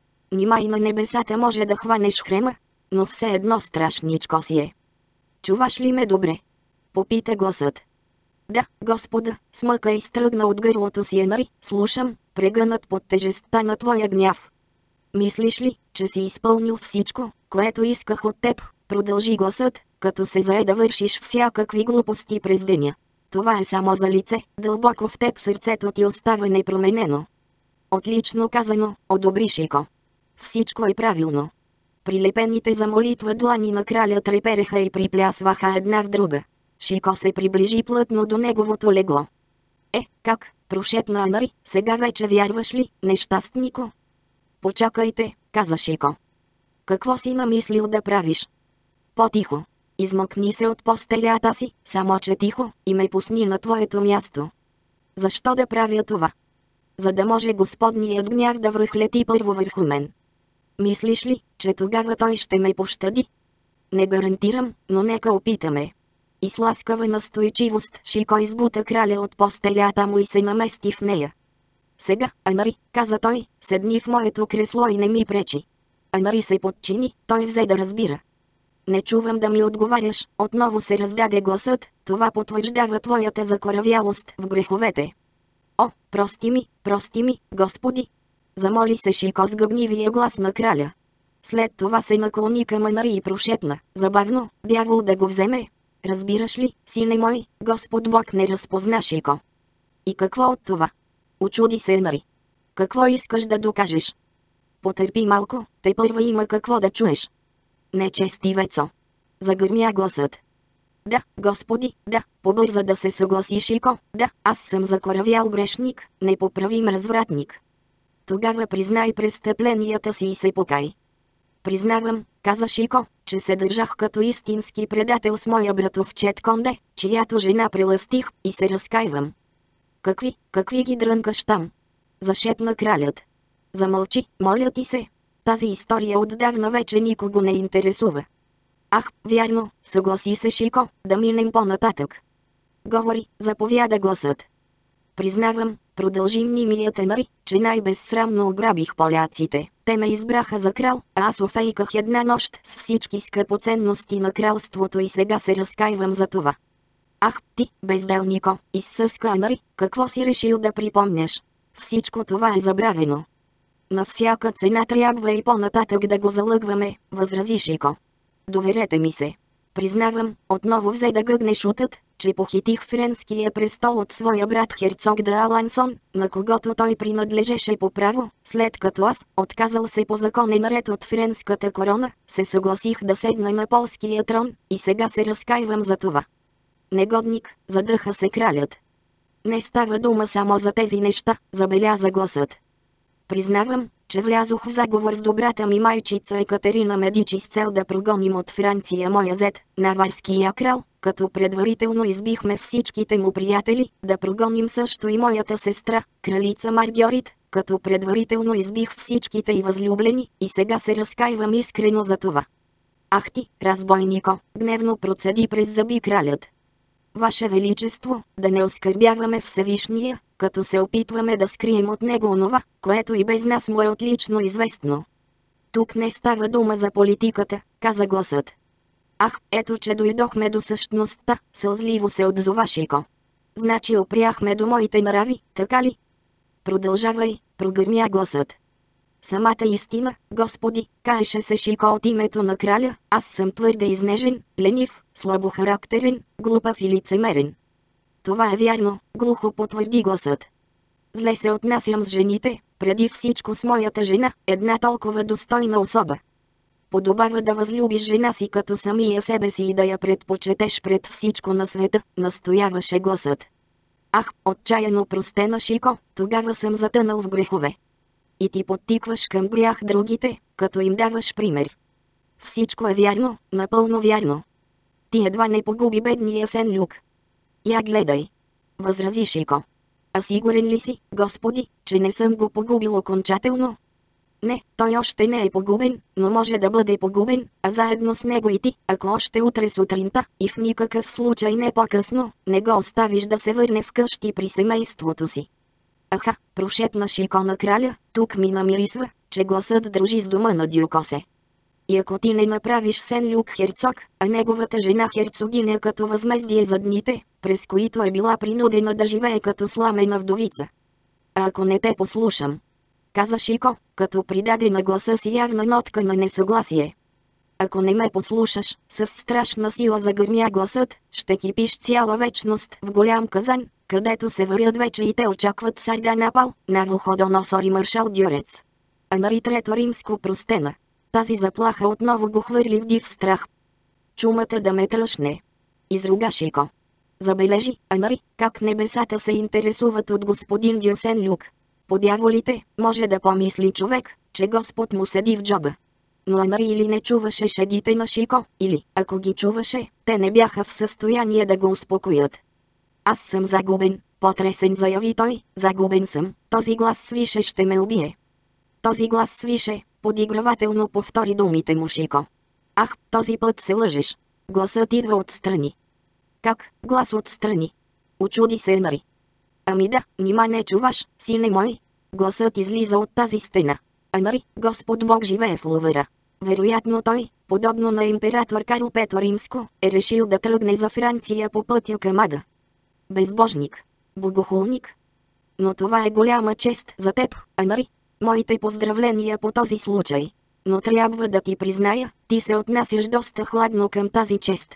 Ами че помисли, Сам Господ Бог, лично, се намира в Лувера и е отделен от теб само с някаква стеничка, а ти не искаш да го навестиш. Какво става с теб, Валоа? Не мога да те позная, ти си станал просто невежлив. В тази минута някаква съчка, свряна въгъла на камината, лумна стрясък и освети лицето на Шико. Изразът на това лице бе толкова весел, дори насмешлив, че кралят се очуди. Как, каза той, и имаш още наглостта да се смееш. Ти дръзваш. Да, дръзвам, отвърна Шико, и сега ти сам ще дръзнеш, или нека иначе ме тръщне чумата. Помисли добре, сине мой, и постъпи така, както ти казвам. Ти искаш да ида да видя. Да не би Господ Бог не се е приютил в съседната стая. Ами ако гласът заговори отново. Но нали аз съм тук и ще мога да му отговоря. Дори още по-добре, ако продължа да говоря от твое име и гласът, който ме взема за теб, повярва, че ти се намираш в спалнята, защото този Божи глас е рицарски доверчив и съвсем не познава този свят. Помисли само, аз вече четвърт час рева тук като магаре, а той все още не може да се досети. Това е унизително за едно разумно същество. Анари се намръщи. Думите на Шута поколебаха несъкрушимата му вяра. Майче си прав, Шико, каза той, и на мен много ми се иска. Е, хайде, тръгвай, взе да го побутва към вратата Шико. Анари внимателно открехна вратата в антрето, съединяващо спалнята му с съседната стая, която, както вече имахме случая да споменем, някога бе стая на дойката на Шарл Девето Римско, а сега служеше за спалня на Сен Люк. Кралят не бе успял да направи и четири крачки, когато гласът с удвоена жар възобнови своите упреци. Шико им отвръщаше с най-жалостив тон. Да, гърмеше гласът, ти си непостоянен като жена, изнежен като сибарит, развратен като езичник. Уви. Хлипаше Шико. Уви. Уви. Нима съм виновен, велики Боже, че си ме създал с такава нежна кожа, с такива бели ръце, с такъв чувствителен нос, с такъв непостоянен дух. Но от днес нататък е това е свършено, Господи, от днес нататък ще нося само ризи от грубо сукно, ще се заровя в яма с оборски тор като Йов и ще ям кравешки говна като и Езекиил. През това време, докато пресичаше ентрето, Анари забеляза изненаден, че колкото гласът на Шико ставаше все по-глух, толкова гласът на неговия събеседник звучеше все по-силно и че този глас, както изглеждаше, наистина идва от стаята на Сен Люк. Анари вече се канеше да почука на вратата, когато видя внезапно лъч от светлина, проникващ през широката ключалка. Той се наведе и надникна през нея. Бледото му лице внезапно почервеня от гняв, той се изправи и започна да трие очите си, сякаш не можеше да повярва и искаше да разгледа по-добре това, което беше видял. Кълна се в Христовото разпятие. Изрече той. Възможно ли е да посмеят така да се подиграят с мен? А ето какво можа да види кралят през ключалката на вратата. Въгъла на стаята Сен Люк по халати тесни панталони отправяше през тръбичката на сарбака на заплахите, които Анари бе приемал за Божие откровение, редом с него, опряна на рамото му, стоеше млада жена с бели прозрачни одежди и от време на време измъкваше сарбакана от ръцете на Сен Люк и викаше през него всичко, което и дойдеше на ум, всякакви глупости, които можеше отначало да се прочетат в лукавите й очи и върху усмихващите й се устни. Всеки път, когато сарбаканът се сваляше, избухваше неудържим кикот, защото се чуваше как Шико се оплакваше и скърбеше, подражавайки толкова съвършено гъгнивия глас на своя повелител, че на краля в антрето му се стори, че сам той се жали и скърби искрено заради своите прегрешения. Жана Дюкосе в стаята на Сен Люк. Дупка в стената. Само как са ме баламосали. Глухо изръмжа Анари. О, негодяй! Скъпо ще ми платите, и след една особено оскърбителна фраза, която госпожа Дюсен Люк произнесе през сарбакана, Анари отстъпи крачка и с сила, неочаквано едно толкова женствено създание, с един удар на кръка изкърти вратата, пантите й отхвъркнаха, ключалката й се щупи. Полуоблечената жена се хвърли с страшен вик под балдахина и се загърна с копринените му завеси. Пребледнял от ужас, с сарбакана в ръце, Сен Люк падна на колене пред побелелия от ярост крал. Ах, пищеше Шико от дълбочината на кралската спалня. О, милост, милост! Дева Марио, спаси ме, спасете ме, всички светци! Аз губя сили, аз! Но в съседната стая всички действащи лица на току-що описаната от нас бурлеска, превърнала се за миг в трагедия, бяха застинали, неспособни да произнесат нито звук. Анари наруши мълчанието с една единствена дума, а в цепенението с един единствен жест. Махайте се, и им посочи вратата.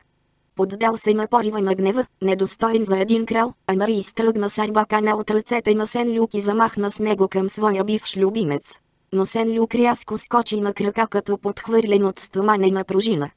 Ваше Величество, предупреди той, вие имате право да ме ударите само по главата, аз съм благородник. Анари захвърли с все сила сарбакана на пода. Някакъв човек се наведе и прибра тази играчка.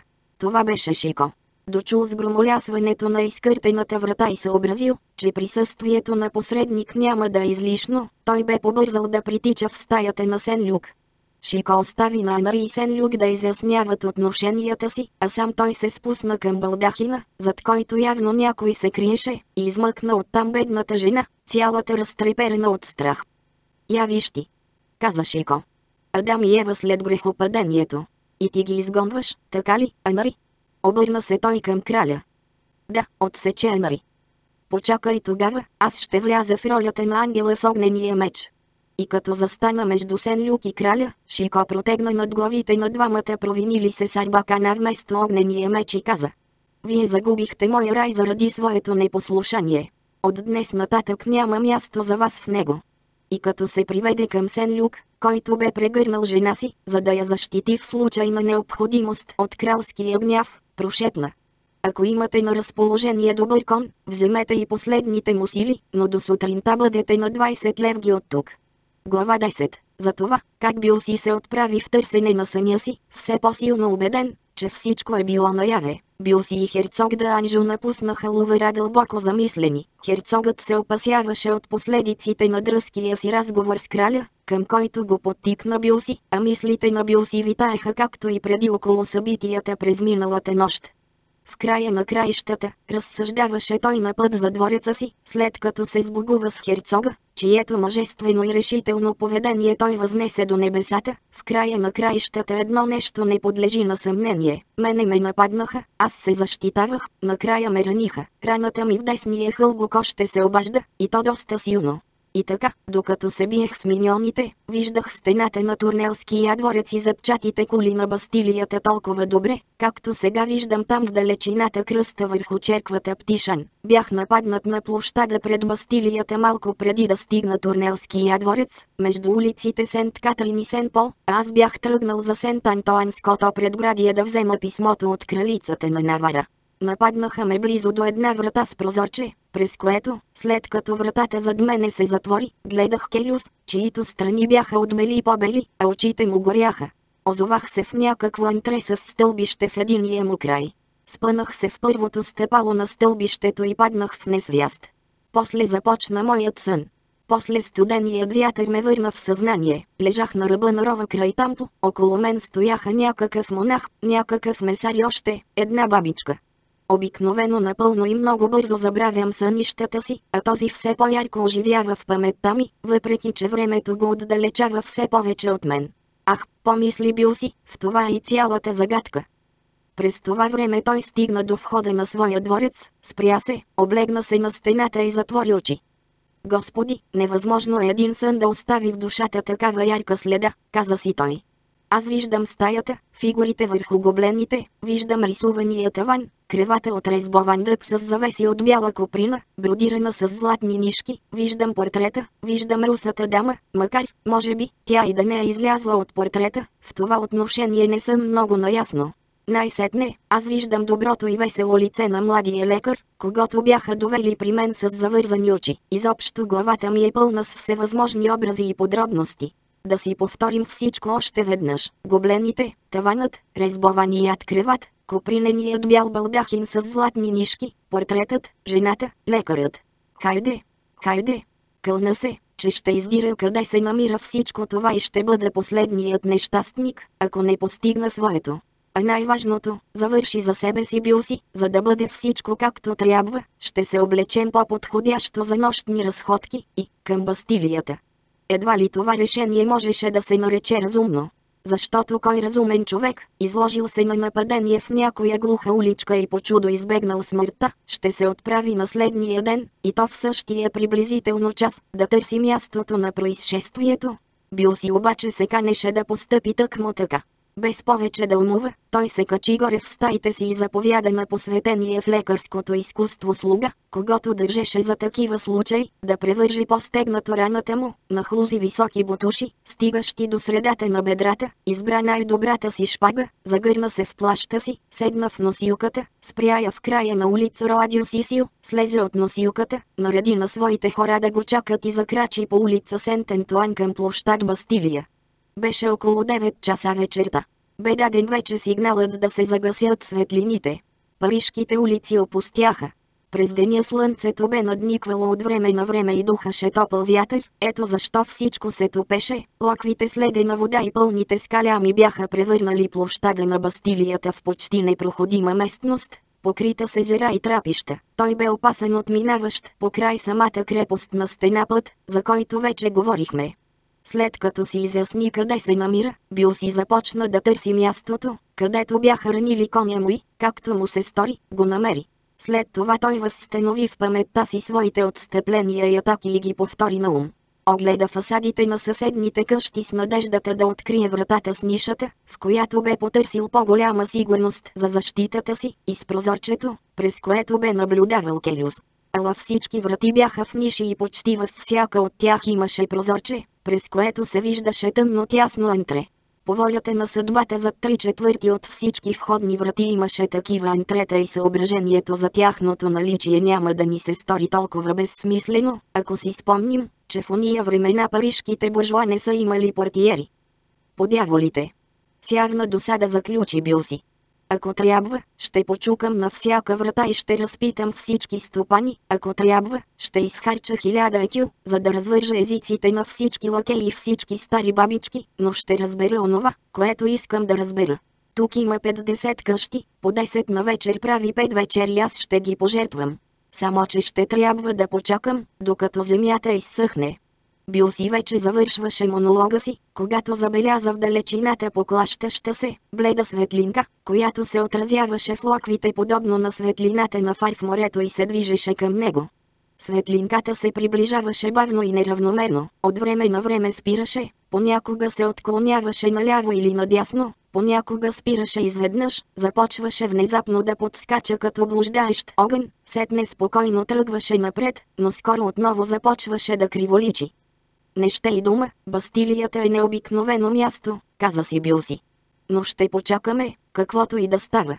И с тези думи той се нагласи по-удобно, загърна се с плаща си и се скри в най-близката ниша. Нощта бе от тъмна по-тъмна и на четири крачки отпреде си човек не можеше да различи нищо. Светлинката продължаваше да се приближава и да описва най-чудновати кръгове. Но тъй като бил не беше суеверен, оставаше с убеждението, че тази светлина не е естествен блуждаещ огън, от ония, които внушаваха такъв страх на пътниците в средните векове, а е чисто и просто някакъв фенер, размахван от нечия ръка, която на свой ред бе прикрепена към нечия тяло. И наистина след няколко секунди на очакване това предположение се потвърди. На тридесетина крачки от себе си бил забеляза черен силует, удължен и тънък като стълб. Постепенно силуетът прие очертанията на човешка фигура. Човекът държеше в ляната си ръка фенер и ту го изнасяше с ръката си напред, ту в страни, ту надолу към краката си. Отначало бил си помисли, че непознатият е член на почтеното братство на пияниците, тъй като само спинало състояние можеха да се обяснят нелепите му движения и философското спокойствие, с което той пропадаше в калните ями и шляпаше по локвите. В един миг той дори се подхлъзна на разтопения лед, бил си дочу глух звук, видя как фенерът стремително полетя надолу, и помисли, че нощният пияница едва се крепи на краката си и се мъчи да запази равновесие. Към този служител на Бакхус, както Метрон Сарби нарекал непознатия, бил си вече изпитваше съчувствието, което благородните сърца изпитват към пияниците, оказали се в късни доби на улицата, и едва не се спусна да му се притече на помощ, когато фенерът полетя нагоре с бързина, свидетелстваща, че неговият притежател демонстрира значително по-голяма устойчивост, отколкото можеше да се допусне на пръв поглед. На ти сега, каза си бил предстои ни май още едно приключение. И тъй като фенерът възобнови движението си напред и, изглежда, се носеше точно към мястото, където се намираше бил младият човек се прилепи по-плътно до стената. Фенерът се приближи с още десетина крачки и в обсега на неговата светлина нашият герой забеляза нещо поразително. Очите на човека с фенера бяха вързани. Ей богу! Каза си бил си. Що за щуротия да си играе на жмичка с фаер в ръка, особено по това време и в тая киша? Да не би пък отново да спя и сънувам? Бил си изчакваше. Човекът с завързаните очи направи още пет или шест крачки. Господи, Боже мой, изненада се бил си, той май си приказва самичък. Не, той не е нито пияница, нито умопобъркан. Той е математик и се опитва да реши някаква задача. Последното заключение на нашия наблюдател се основаваше на думите, които чуда произнася човекът с фенера. 488, 489, 490, тихо броеше той. Трябва да е тук някъде и таинственият непознат надигна превръзката от очите си, приближи се до вратата на дома, пред който бе спрял, и внимателно започна да я изучава. Не, установи той, явно не е тази врата. След това отново нахлузи превръзката на очите си и продължи пътя си, като все така броеше на глас. 491, 492, 493, 494. Тук трябва вече да е горещо. Той отново надигна превръзката от очите, приближи се до най-близката добил си врата, огледа я с не по-малко внимание от първата и отново заговори. Хъм, хъм, като че ли тази ще е. Не. Да, да. Не, дяволски врати, приличат си една на друга като две капки вода. До същия извод стигнах аз, каза си бил си. Този математик започва да ме изпълва с уважение. Непознатият отново сложи превръзката върху очите си и продължи нататък. 495, 496, 497, 498, 499. Ако срещу мен сега има врата, произнесе той, трябва да е онази. Врата наистина имаше, и то тъкмо тази, в чиято ниша се беше притаил бил си, така че, когато предполагаемият математик свали превръзката, видя точно пред себе си нашия герой. И какво? Заинтересува се бил.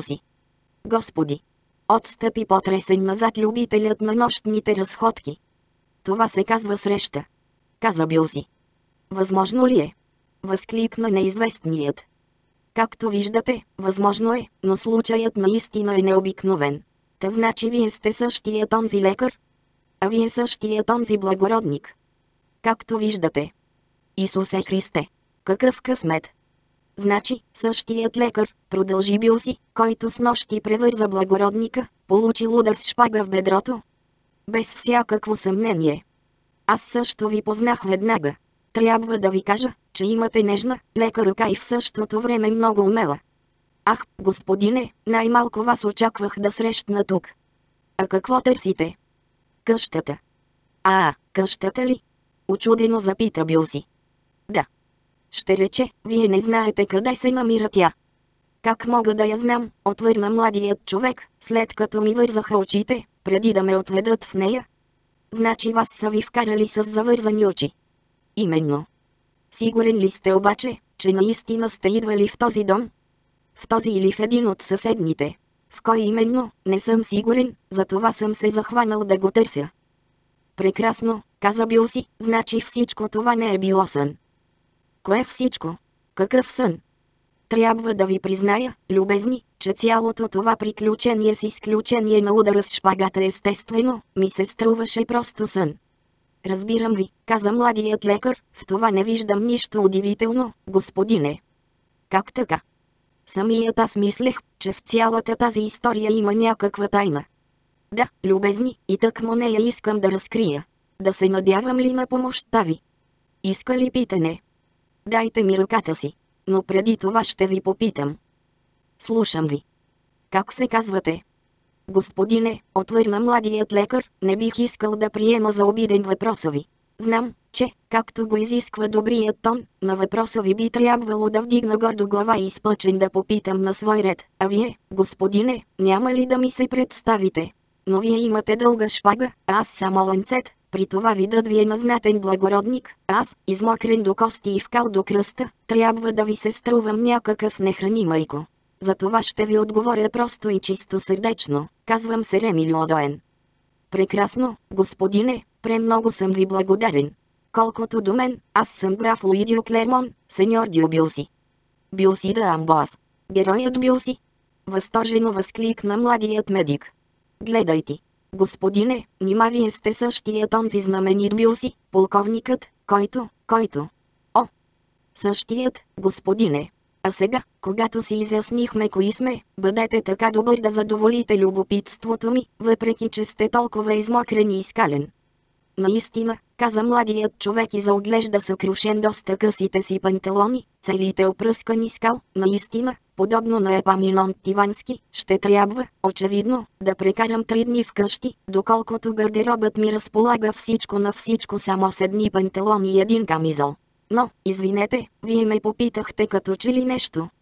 Да, господине, бих желал да знам как попаднахте в този дом. По най-простия и едновременно с това много сложен начин. Съдете сам. Да чуя. Господин графе, дължа да ви се извиня. Бях толкова потресен, че се обръщах към вас, без да назовавам вашата титла. Това са чисти дреболи, продължавайте. Господин графе, ето цялата ми история. Живея на улица Ботали на 502 крачки от тук. Макар само беден ученик на хирург, смея да ви уверя, че ръката ми е доста умела. Аз самият имах случая да се убедя в това, каза Билси. Учих се усърдно, продължи младият човек, но не можах да си намеря пациенти.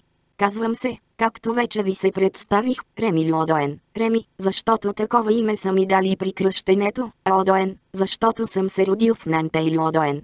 Преди 7-8 дни за да се нала някакъв клетник бе намушкан с нож, аз му заших корема и много сполучливо натиках вътре червата му, които се бяха изсипали. Тази операция ми донесе известност наоколо и, изглежда, благодарение на това имах с нощи щастието да бъда събуден от едно приятно гласче. Глас на жена. Възкликна Билси. Да, но не бързайте с изводите, графе, колкото и селендур да съм, все пак можах да разбера, че това е глас на прислужница. В това отношение не мога да се излъжа, много по-често ми се случва да имам работа с прислужници, отколкото с госпожи. И какво направихте? Вдигнах се от леглото и отидох да отворя вратата, но едва бях проврял глава, когато две малки, не твърде нежни, но и не прекалено загрубели ръчички ми сложиха върху очите превръзка. Без нито дума да ви кажат при това. Не, защо, беше ми казано, вървете с мен, без да се опитвате да разберете къде ви водя, мълчете, ето вашето възнаграждение. Какво беше то? Кесия с пистоли, която ми бе пъхната в ръката. Аха, а какво отговорихте вие?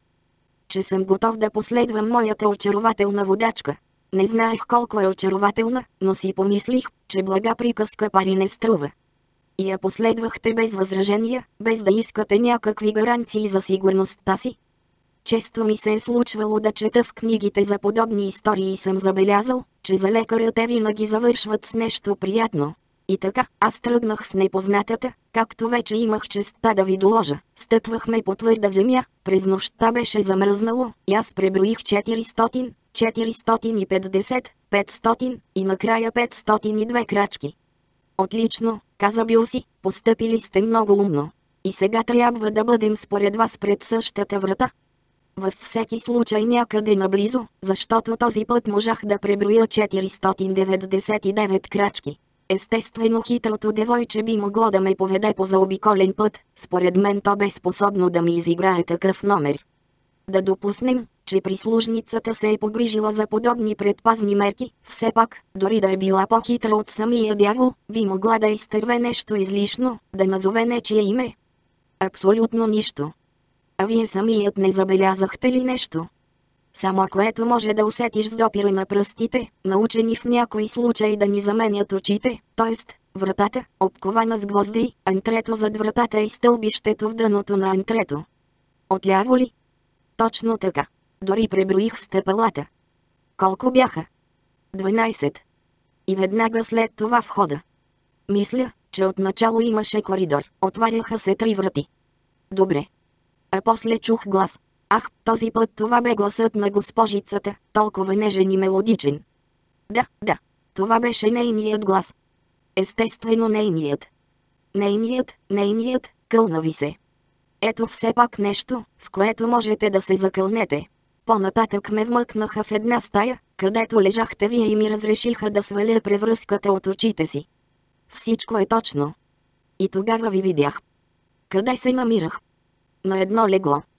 На едно легло с балдахин от бяла коприна, бродирана с златни цветя. Да. А стените на стаята бяха обкичени с гоблени, нали? Правилно. А върху тавана бяха изрисувани фигури. Точно така, а между прозорците портрет. Именно. На 18-20 годишна жена. Да. Блондинка. Да, несъмнено. Прекрасна като ангел. Още по-прекрасна. Браво. И какво направихте? Превързах ви. При това отлично, честна дума. Постарах се, колкото мога. Превъзходно ме превързахте, просто превъзходно, милостиви господине, тази сутрин раната ми беше почти затворена и стана розова. Това го дължите на мехлема ми. Мисля, че въздействието му е отлично, понеже, преди да го приложа на друг, съм го изпробвал неведнъж върху собствената си кожа на най-различни места по тялото й. Кълна ви се. Два-три дни след това раните напълно се затварят.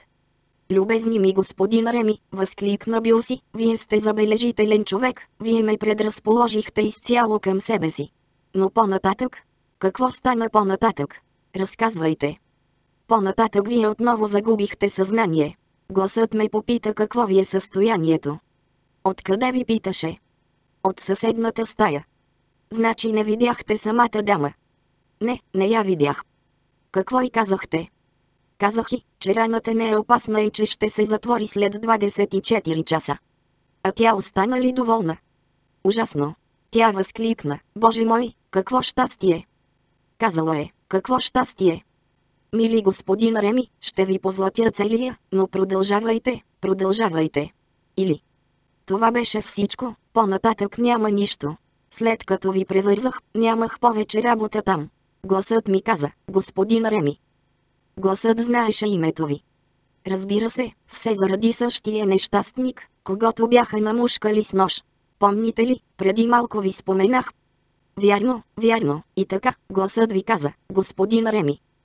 Останете до край човек на честа, не подлагайте на опасност една бедна жена, поддала се на състраданието. Завържете си очите и се оставете да ви върнат у дома ви, без да се опитвате да надничате по пътя. Обещахте ли? Дадох и дума. Устояхте ли на думата си? Както виждате, простодушно отвърна младият човек, иначе не бих търсил сега вратата. Добре, каза Бил си, това е великолепна черта на характера ви, показваща, че вие сте галантен кавалер и макар че всичко в мен кипи от злоба, не мога да не ви кажа. Ето ви ръката ми, господин Реми. И възхитеният Бил си протегна ръката си на младия лекар. Господине! Възкликва трогнатият Реми. Стиснете я, стиснете я, вие сте достоен да бъдете благородник. Господине, отзова се Реми, вечно ще се гордея с това, че имах честа да стисна ръката на храбрия Биосида Амбоас. Ала моята съвест остава неспокойна. Това пък защо? В кесията имаше 10 пистола. И какво? Това е твърде много за един лекар, който получава за визитация петсо, ако изобщо решат да му платят, и аз търсех да открия дома. За да върнете кесията ли? Именно. Любезни господин Реми, вие сте твърде добросъвестен, кълна ви се, спечелили сте честно тези пари, те ви се полагат по право. Мислите ли? С явно облегчение попита Реми. Отговарям за думите си, макар че най-малко тази дама е следвало да се разплаща с вас, ами че аз съвсем не я познавам, нито пък тя мен. Ето ви още една причина да върна парите. Сам виждате. Исках само да кажа, че аз също ви оставям длъжник. Вие мой длъжник. Да, и аз ще ви се изплатя. С какво се занимавате в Париж? Хайде, разкажете ми. Поверете ми вашите тайни, любезни господин Реми. С какво се занимавам в Париж ли? Да, всъщност с нищо, господин графе, но бих могъл да върша все нещо, ако имах пациенти. Да смятаме тогава, че ви е провървяло. За начало ви предоставям един пациент, самия себе си. Повярвайте ми, ще имате голяма практика. Не минава ден, в който да не продупче най-прекрасното творение на Създателя или някой да не повреди великолепния образец на неговата работа в мое лице. Е как, съгласен ли сте да се заемете с кърпенето на дубките по моята кожа или на онези, които самият аз ще продупча в нечия чужда? Ах, господин графе, отвърна Реми, аз имам толкова малко заслуги. Напротив, вие сте именно човекът, който ми трябва, дявол да го вземе. Ръката ви е лека като на жена, и с този мехлем Ферагиус. Господине, вие ще останете да живеете при мен, ще имате на разположение собствени стаи и собствени слуги. Съгласявайте се или, честна дума, ще ме хвърлите в бездната на отчаянието. Още повече, че вашата работа не е приключила. Трябва да смените превръзката ми, любезни господин Реми. Господин графе, отвърна младият лекар, аз съм в такъв възторг, че не знам как да изразя радостта си. Ще имам работа, ще имам пациенти, е не, казах ви, че ви вземам само за себе си. И за моите приятели естествено. А сега, нищо друго ли не си спомняте? Нищо. Що ме така, помогнете ми да си обясня някои неща, ако е възможно. Как именно? Виждате ли? Вие сте наблюдателен човек, броите крачките си, опипвате стените, запомняте гласовете. Не знаете ли защо след като сте ме превързали, се озовах на ръба на рова край тамто? Вие. Да, аз. Може би сте помагали при пренасянето ми? В никакъв случай. Напротив, ако бяха поискали моя съвет, аз решително щях да се възпротивя срещу такова преместване. Студът можеше да ви напакости извънредно много. Не мога да си обясня как е могло да стане това. Желаете ли да продължим заедно издирването на този дом? Готов съм на всичко, което е угодно на вас, господине, но се боя, че от това няма никаква полза, всички къщи тук са напълно еднакви. Тогава, каза Бил трябва да ги огледаме през деня. Да, но през деня ще ни забележат. Тогава ще трябва да съберем сведения. Всичко ще разузнаем, монсеньор. И ще постигнем своето. Повярвай ми, Реми, от днес сме двама и съществуваме не на сън, а наяве, а това вече не е никак малко. Глава 11. За това, що за човек беше главният ловчи Ябриан Дюмонсоро, не бе дори радост, а някакъв необоздан възторг чувството, което обзе си, когато се убеди, че жената на неговите блянове действително съществува и че тази жена му е оказала не на сън, а наяве великолепното гостоприемство, неясния спомен за което той пазеше дълбоко в сърцето си. Ето защо бил си реши да не се разделя нито за миг с младия лекар, когато току-що бе издигнал в ранг на свой постоянен лечител. Той застави Реми да седне с него в носилката така, както си беше окаляй от главата до петите. Бил си се опасяваше, че ако дори за миг изпусне от погледа си Реми, той ще изчезне подобно на дивното видение от миналата нощ. Трябваше да го отведе на всяка цена в дома си, където да го заключи до сутринта, а на следващия ден да решава дали да го пуска на свобода или да не го пуска. По време на обратния път бяха задавани нови въпроси, но отговорите им се въртяха в затворения кръг, който току-що очертахме. Реми Лодоен знаеше не повече от Билси. Вярно, лекарът, който не беше губил съзнание, потвърждаваше, че Билси не бе бълнувал. За всеки човек, започващ да се влюбва, а бил се бе влюбил от пръв поглед, е извънредно важно да има под ръка някого, с когото да може да говори за любимата жена. Вярно, че Реми не бе имал честа да види със собствените си очи красавицата, но за Бил си това беше още едно достоинство, защото му даваше възможност отново и отново да разказва на своя спътник до каква степен оригиналът превъзхожда във всички отношения копието си. Бил си гореше от желание да прекара цялата нощ в разговори за прекрасната непозната, но Реми пристъпи към изпълнение на лекарските си задължения с това, че поиска от ранения да спи или най-малкото да пази постелята.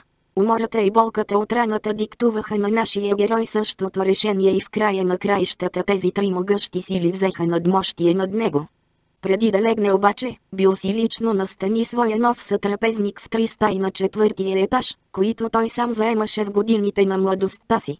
И чак след като се убеди, че младият лекар, доволен от своето ново жилище и от новата си съдба, подарена му от провидението, няма да избяга тайно от двореца, бил си се оттегли в разкошните си покой на втория етаж.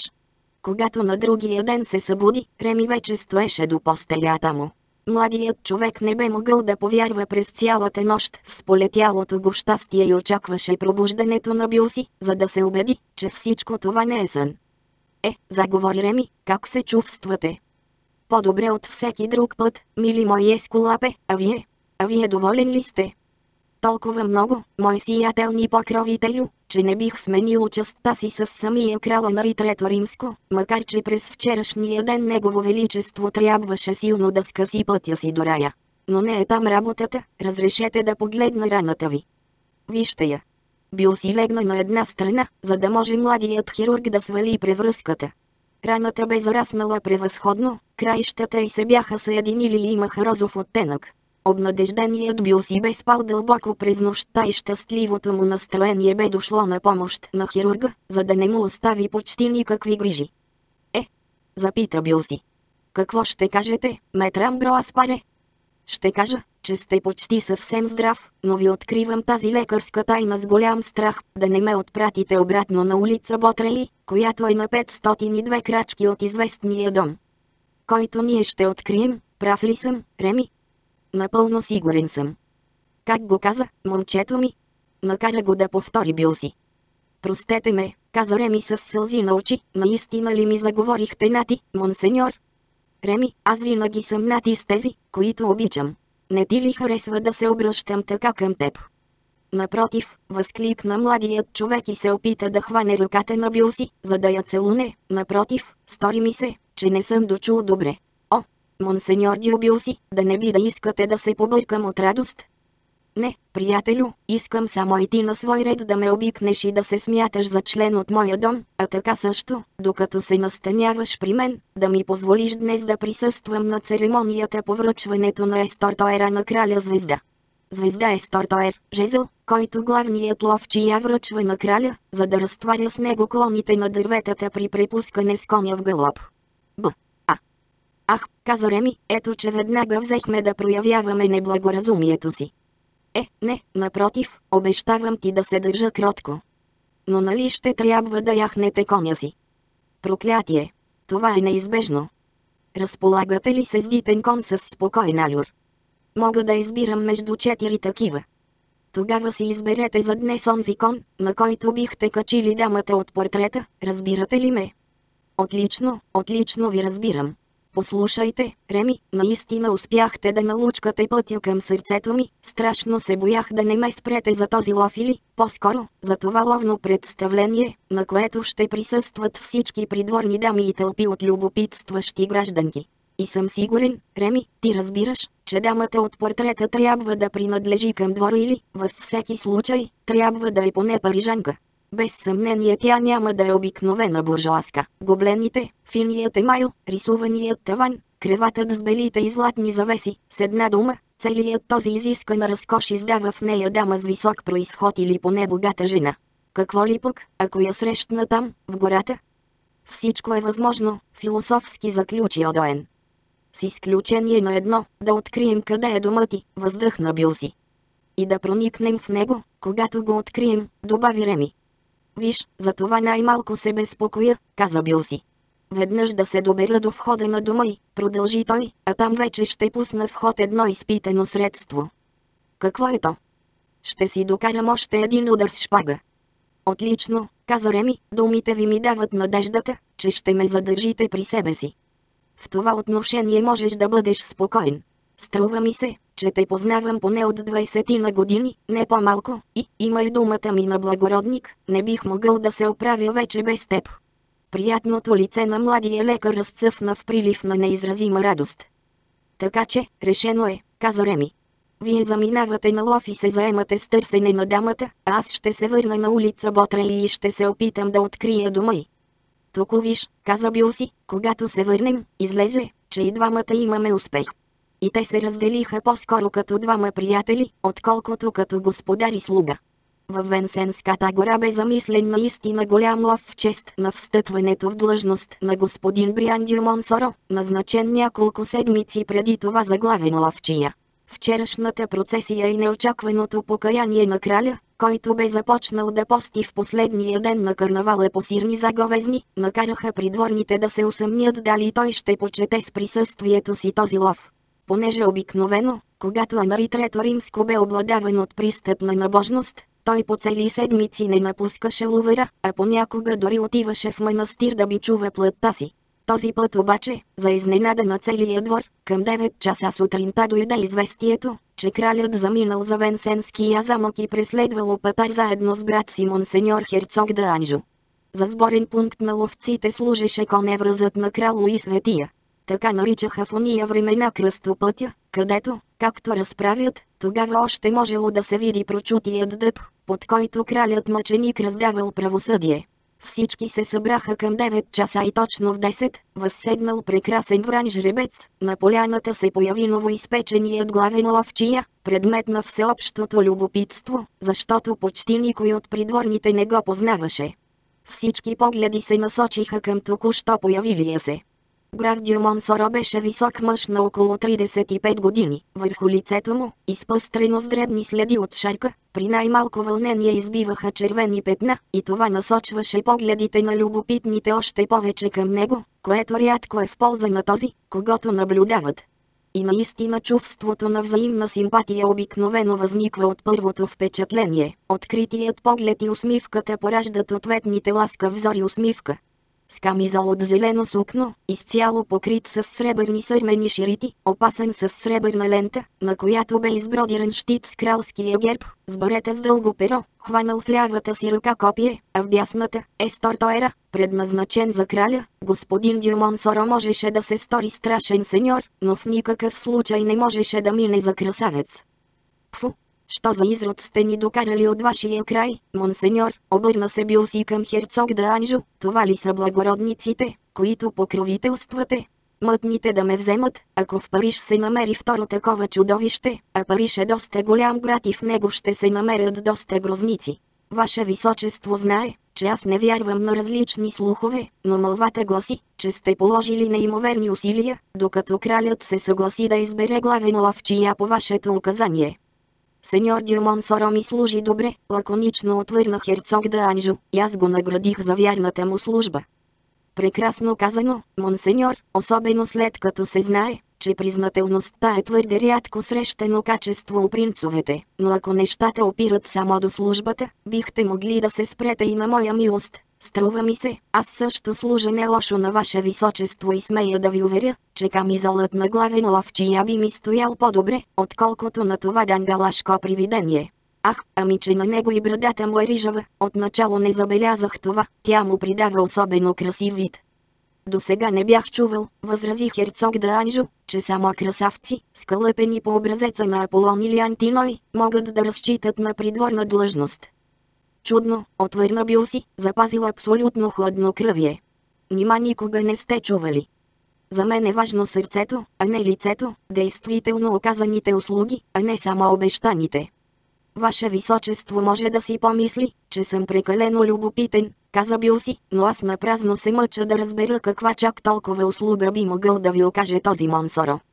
Ах, бил си, раздразнено се съгласи херцогът, вие сте прав, твърде любопитен сте, дори прекалено. Ама и принцовете си ги бива. Възкликна бил си с обичайната си непринуденост.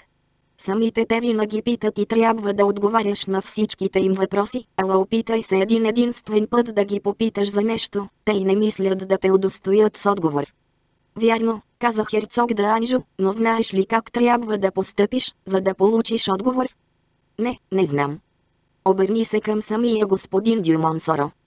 Наистина, каза бил си, ей богу, вие сте прав, монсеньор. При това той е само един обикновен благородник и ако не ми отговори, мога да прибегна до още едно средство. До какво? Да го назова безсрамник. С тези думи бил си обърна гръб на принца и без много да умува, пред очите на своите приятели, с шапка в ръка, препусна към граф Монсоро. Графът, възседнал коня си насред поляната, представляваше мишена за любопитните погледи и с завидна издръжливост очакваше появата на краля, за да се освободи от бремето на упоритите погледи, насочени към него от всички страни. При вида на Билси, приближаващ се към него с усмивка на уста и с шапка в ръка, главният ловчия си позволи малко да се отпусне. Моля да ме простите, господине, обърна се към него Билси, но аз ви виждам напълно единен от всички останали. Нима заради оказаната ви милост е трябвало да си спечелите тук толкова врагове, колкото приятели бихте могли да имате една седмица, преди да ви назначат за главен ловчия. Ей богу, любезни графе, отвърна сеньор Дюмонсоро, не мога да се закълна, но съм готов да се обзаложа, че е така. Позволете ми обаче да разбера кое ви е подбудило да ми окажете тази чест и да нарушите уединението ми. Дявол да го вземе, смело каза бил си, аз действам, подбуден от огромното възхищение пред вас, което ми внуши херцог да Анжо.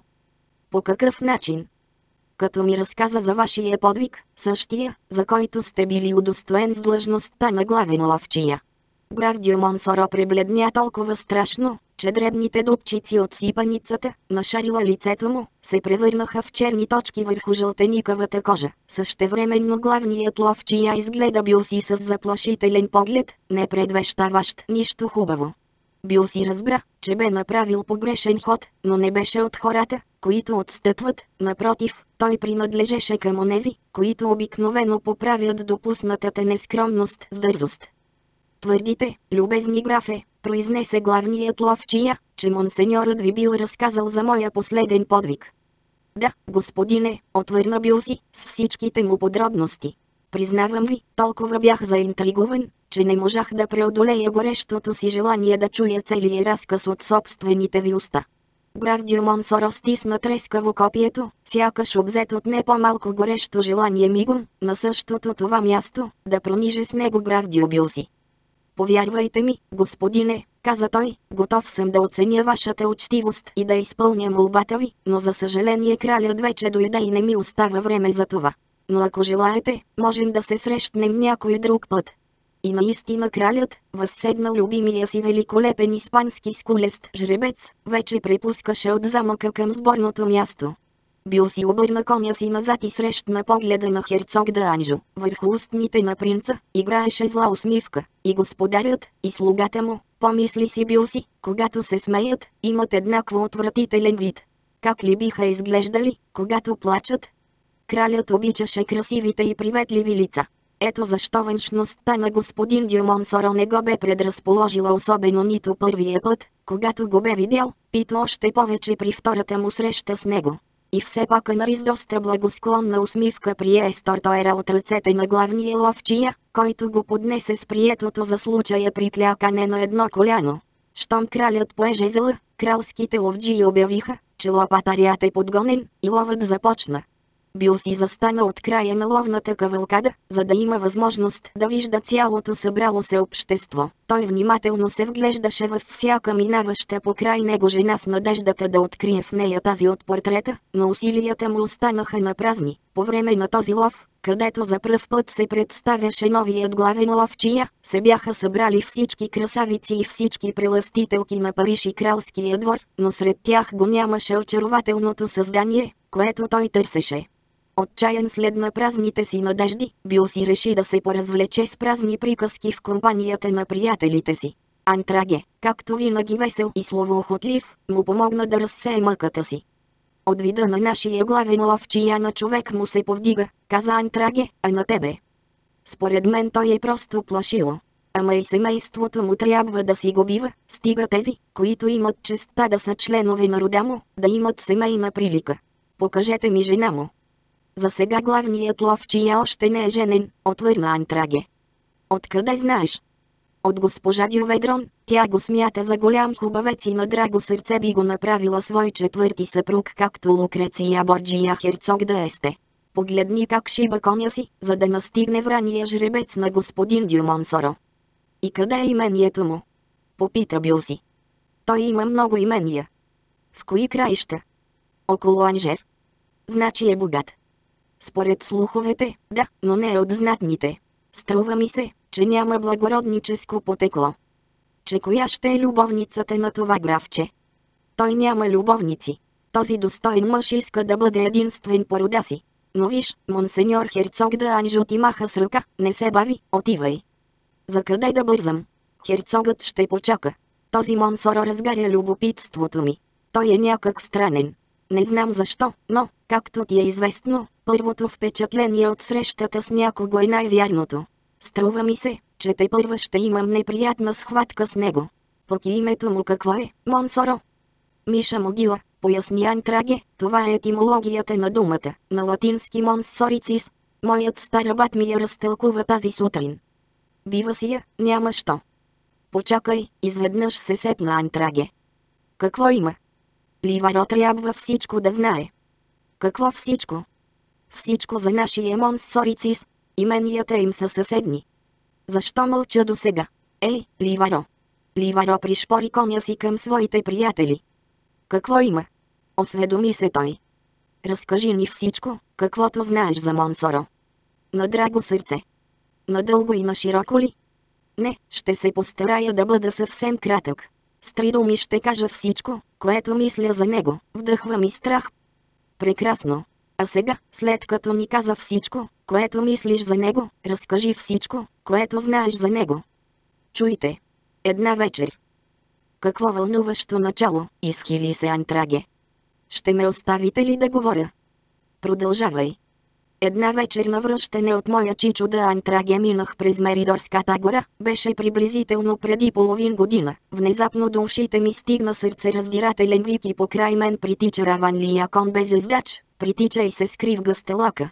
Ударих шпори, препуснах коня натам, откъдето се нададе викът и в късния вечерен здрач. В края на дългата просека, видях ездач на вранкон. Той не препускаше, а се носеше като вихър. Отново се повтори с подавел вик и тогава можах да видя, че той държи пред себе си жена, метната отпред на седлото му, и че е затиснал устата и с ръка. Носех с себе си ловджийска аркебуза. Знаеш, че съм доста добър стрелец. Прицелих си, честна дума, бих го убил, но за беда проклетият фитил угасна тъкмо когато натисках спусъка. А после, нямаше търпение бил си, какво стана после? После срещнах един въглищар и на въпроса ми, кой ще е този господин, който отмъква върху врания си кон жени, той ми каза, че това е господин Дюмонсоро.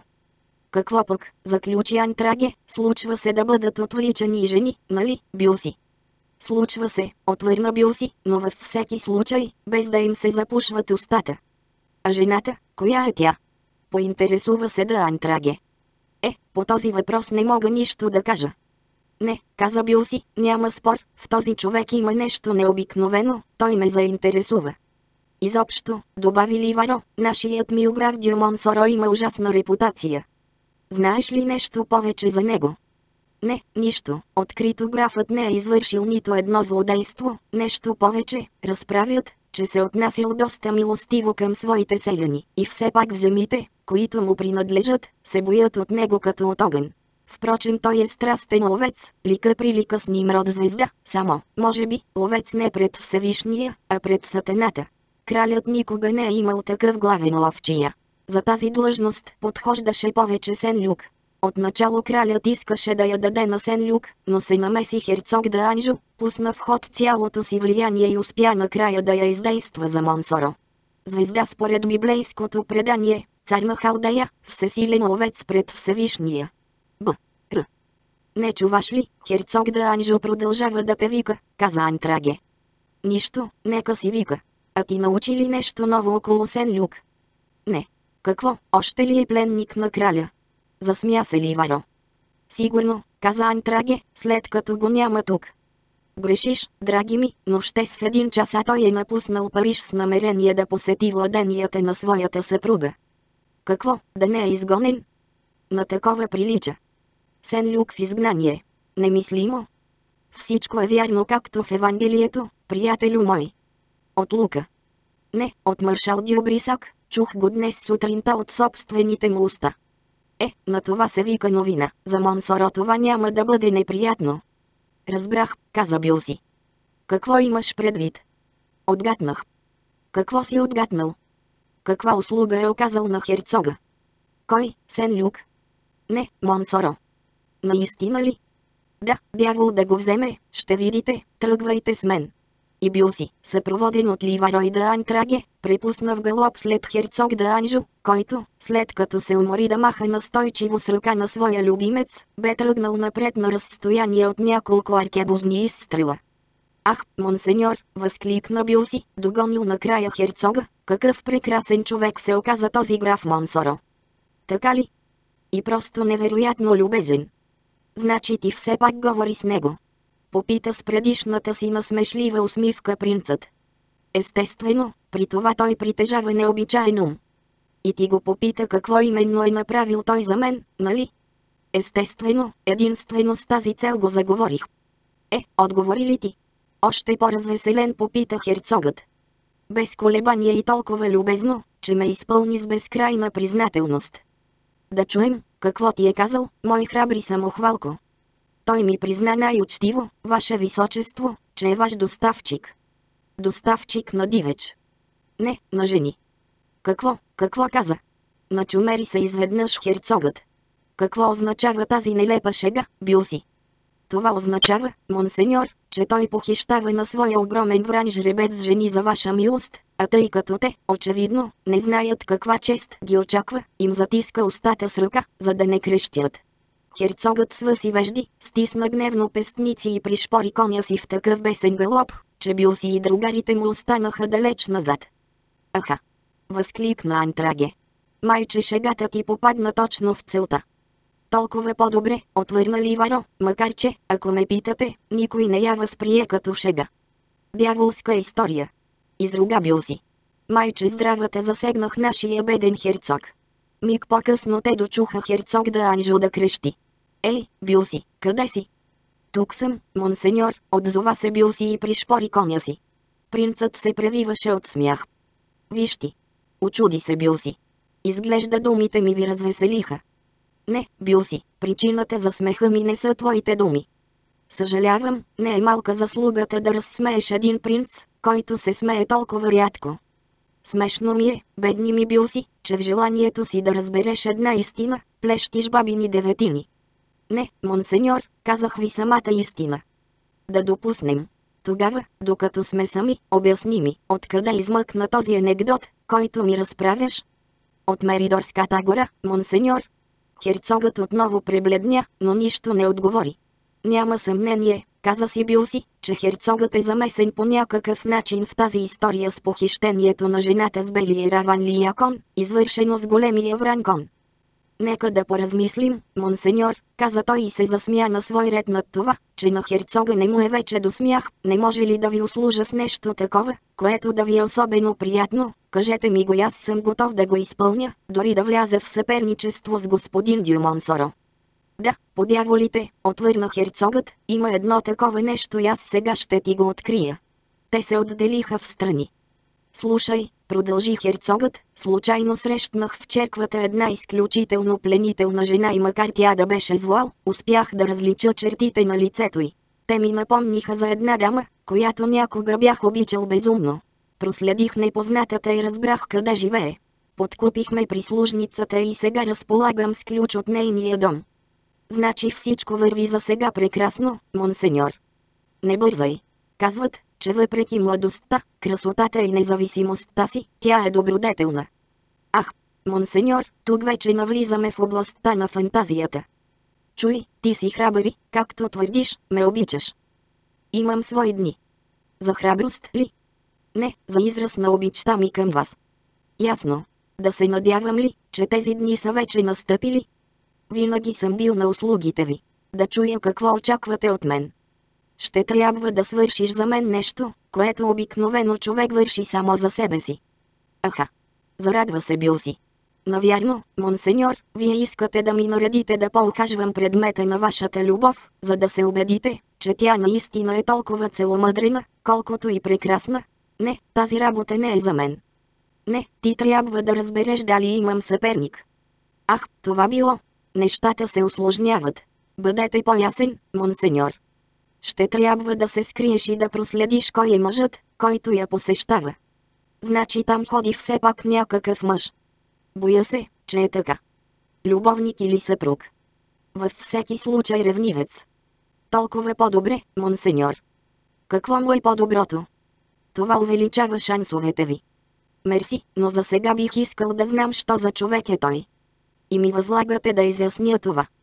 Да, ако се съгласиш да ми направиш тази услуга.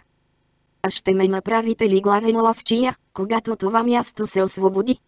Повярвай ми, бил си, че едно такова обещание от моя страна ще ми бъде още по-приятно и от това, че до сега с нищо не съм те възнаградил. Да видим. Монсеньор все пак е обърнал внимание на този факт. Отдавна си казвам това. Но съвсем тихо, както обикновено принцовете си говорят подобни неща. И така. Какво, монсеньор? Съгласен ли си? Да следя дамата ли? Да. Ще ви призная, монсеньор, че подобен ангажимент никак не ми допада, бих предпочел нещо друго. Току-що ми предлагаше услугите си, бил си, и ето че вече биеш отбой. Проклятие, вие ми натрапвате роля на шпионин, монсеньор. Ни най-малко. Ролята ти е друга. Впрочем не мисли, че ти предлагам чиста си некора, много е възможно да трябва да прибегнеш и до шпагата си. Бил си поклати глава. Монсеньор, каза той, има неща, които може да се свършат добре единствено ако самичък се заловиш за тях, ето защо дори един принц трябва самостоятелно да уреди тази работа. Значи ми отказваш. Да, монсеньор. Херцогът свъси вежди. Какво пък, ще последвам съвета ти, каза той, ще ида сам, и ако там ме убият или ранят, ще кажа, че съм молил приятеля си бил си да получи или нанесе вместо мен. Този удар с шпага и че за пръв път в живота си бил си е проявил предпазливост. Монсеньор, отвърна бил си, една вечер вие ми казахте, бил си, мразя всички тези миньони от кралската спалня, които по всеки повод ни подиграват и оскърбяват, ти трябва да идеш на сватбата на Сен Люк, да намериш случай да се скараш с тях и да ни избавиш от тях. И аз отидох там, монсеньор, те бяха петима, аз – един. Аз ги оскърбих. Те ми направиха засада, налетяха едновременно връз мен, убиха коня ми и все пак можах да раня двамина и да зашеметя третия. Днес вие искате от мен да обидя една жена. Извинете ме, монсеньор, но един принц не може да иска такъв род услуги от благородник и аз се отказвам. Така да бъде, отвърна херцогът, аз самичък ще застана на пост, най-много съпроводен от Орили както миналия път. Моля. Поиска да му се повтори бил си, взел вече нещо да подразбира. Какво не ти е ясно? Значи вие сте стояли на своя пост, монсеньор, през онази нощ, когато сте се натъкнали на миньоните, очакващи моя милост в засада? Именно. Ще рече, вашата прелестна непозната живее около Бастилията? Домът ти е срещу черквата Света Екатерина. Наистина ли? Да, в един квартал, където могат за едната хубост и без никакви затруднения да ти прережат гърлото, това трябва да го знаеш. А дали Ваше Височество е посещавал повторно този квартал след споменатата вечер? Вчера. И какво видяхте, монсеньор? Някакъв човек. Той тършуваше по всички ъгълчета на площада в желанието си, без съмнение, да се убеди, че никой не го следи, а после вероятно ме забеляза, застана пред вратата, която ми беше нужна, и не се помръдна оттам. Сам ли беше този човек, монсеньор? Заинтересува се бил си. Да, около половин час сам. А след този половин час. Към него се присъедини още един мъж с фенер в ръце. Аха! Възкликна бил си. Тогава човекът сплаща. Продължи принцът. Първият беше с плащ, така ли? Пожела да уточни бил си. Да. Тогава той заговори с човека с фенера и по всичко личеше, че нямат намерение да напускат нощния си пост пред вратата, поради което аз трябваше да отстъпя и да се прибера от дома си. Изглежда тази двойна несполука изстудила вашия план. Откровено казано, да. Честна дума. И си помислих, че преди да се напъхвам в този дом, който спокойно би могъл да се окаже разбойнически вертеп. Не ще бъде зле от начало да прережат гърлото на някого от вашите приятели. Не съвсем така. Помислих си, нека от начало моят приятел, който е свикнал на такива истории и има понеже не е принц, по-малко врагове от мен, нека моят приятел разузнае на каква опасност се подлагам и да ми доложи. На ваше място, монсеньор, каза бил си, бих се отказал от тази жена. В никакъв случай. Защо? Тя е извънредно хубава. Но вие сам казахте, че сте я зърнали само за миг. Ала достатъчно, за да забележа възхитителните и руси коси. Ах, виж ти! Чудесните й очи! Наистина ли? Тенът на лицето, какъвто не съм виждал никоя друга, великолепната талия. Какво говорите? Сам разбираш, от подобна хубавица не можеш да се откажеш толкова лесно. Да, монсеньор, разбирам ви от душа ви съчувствам. Херцогът погледна изкосо бил си. Честна дума, каза бил си. Смееш ли се? Не. И за доказателство тази вечер ще застана на пост, стига само монсеньорът да ми даде наставления и да ми посочи къде е този дом. Значи ти размисли. Е, монсеньор, само нашият свят отец Грегорио 13 римско е непогрешим, а сега ми кажете какво трябва да правя. Трябва да се скриеш на мястото, което ще ти покажа, и ако някой мъж влезе в дома, да се вмъкнеш след него и да разбереш кой е той. Ами ако след като влезе, той заключи вратата? Нали ти казах, аз имам ключ. Ах, вярно, тогава мога да се опасявам само от едно, че мога да проследя съвсем друг човек или че там ще има още някоя врата, за която няма да имам ключ. Няма възможност да сбъркаш. Входната врата води към антре, в края на което наляво има стълба, ти ще изкачиш 12 стъпала и ще се озовеш в един коридор. Откъде ви е известно всичко това, след като не сте били нито веднъж там? Нима не ти казах, че прислужницата е в ръцете ни? Всичко това го знам от нея. Господи Исусе Христе! Колко е удобно да си принц, всичко ти се поднася на тепсия. Аз щях да съм принуден сам да издирвам къщата, да изследвам антрето, да броя стъпалата и обследвам коридора. Това би ми отнело сума време и, кой знае, бих ли имал успех. Да разбирам ли, че си съгласен? А нима бих могъл да откажа нещо на ваше височество. Молбата ми е само да дойдете с мен и да ми посочите вратата на дома. Защо? След като свърши ловът, ще се върнем по заобиколен път през Сент-Антоанските порти и ще можеш да видиш. Чудесно, монсеньор. А какво ще наредите да правя с човека, ако се появи? Нищо, само ще го проследиш, за да разбереш кой е той. Това е деликатна работа.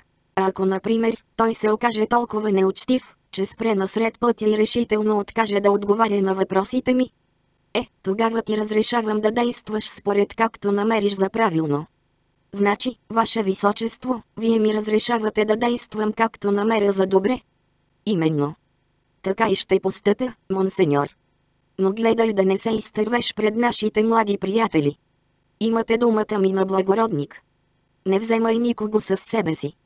Сам ще ида, кълна ви се. Е, разбрахме се, връщаме се по край бастилията, аз ти показвам входната врата. Ти идваш у дома. Аз ти давам ключа. И тази вечер.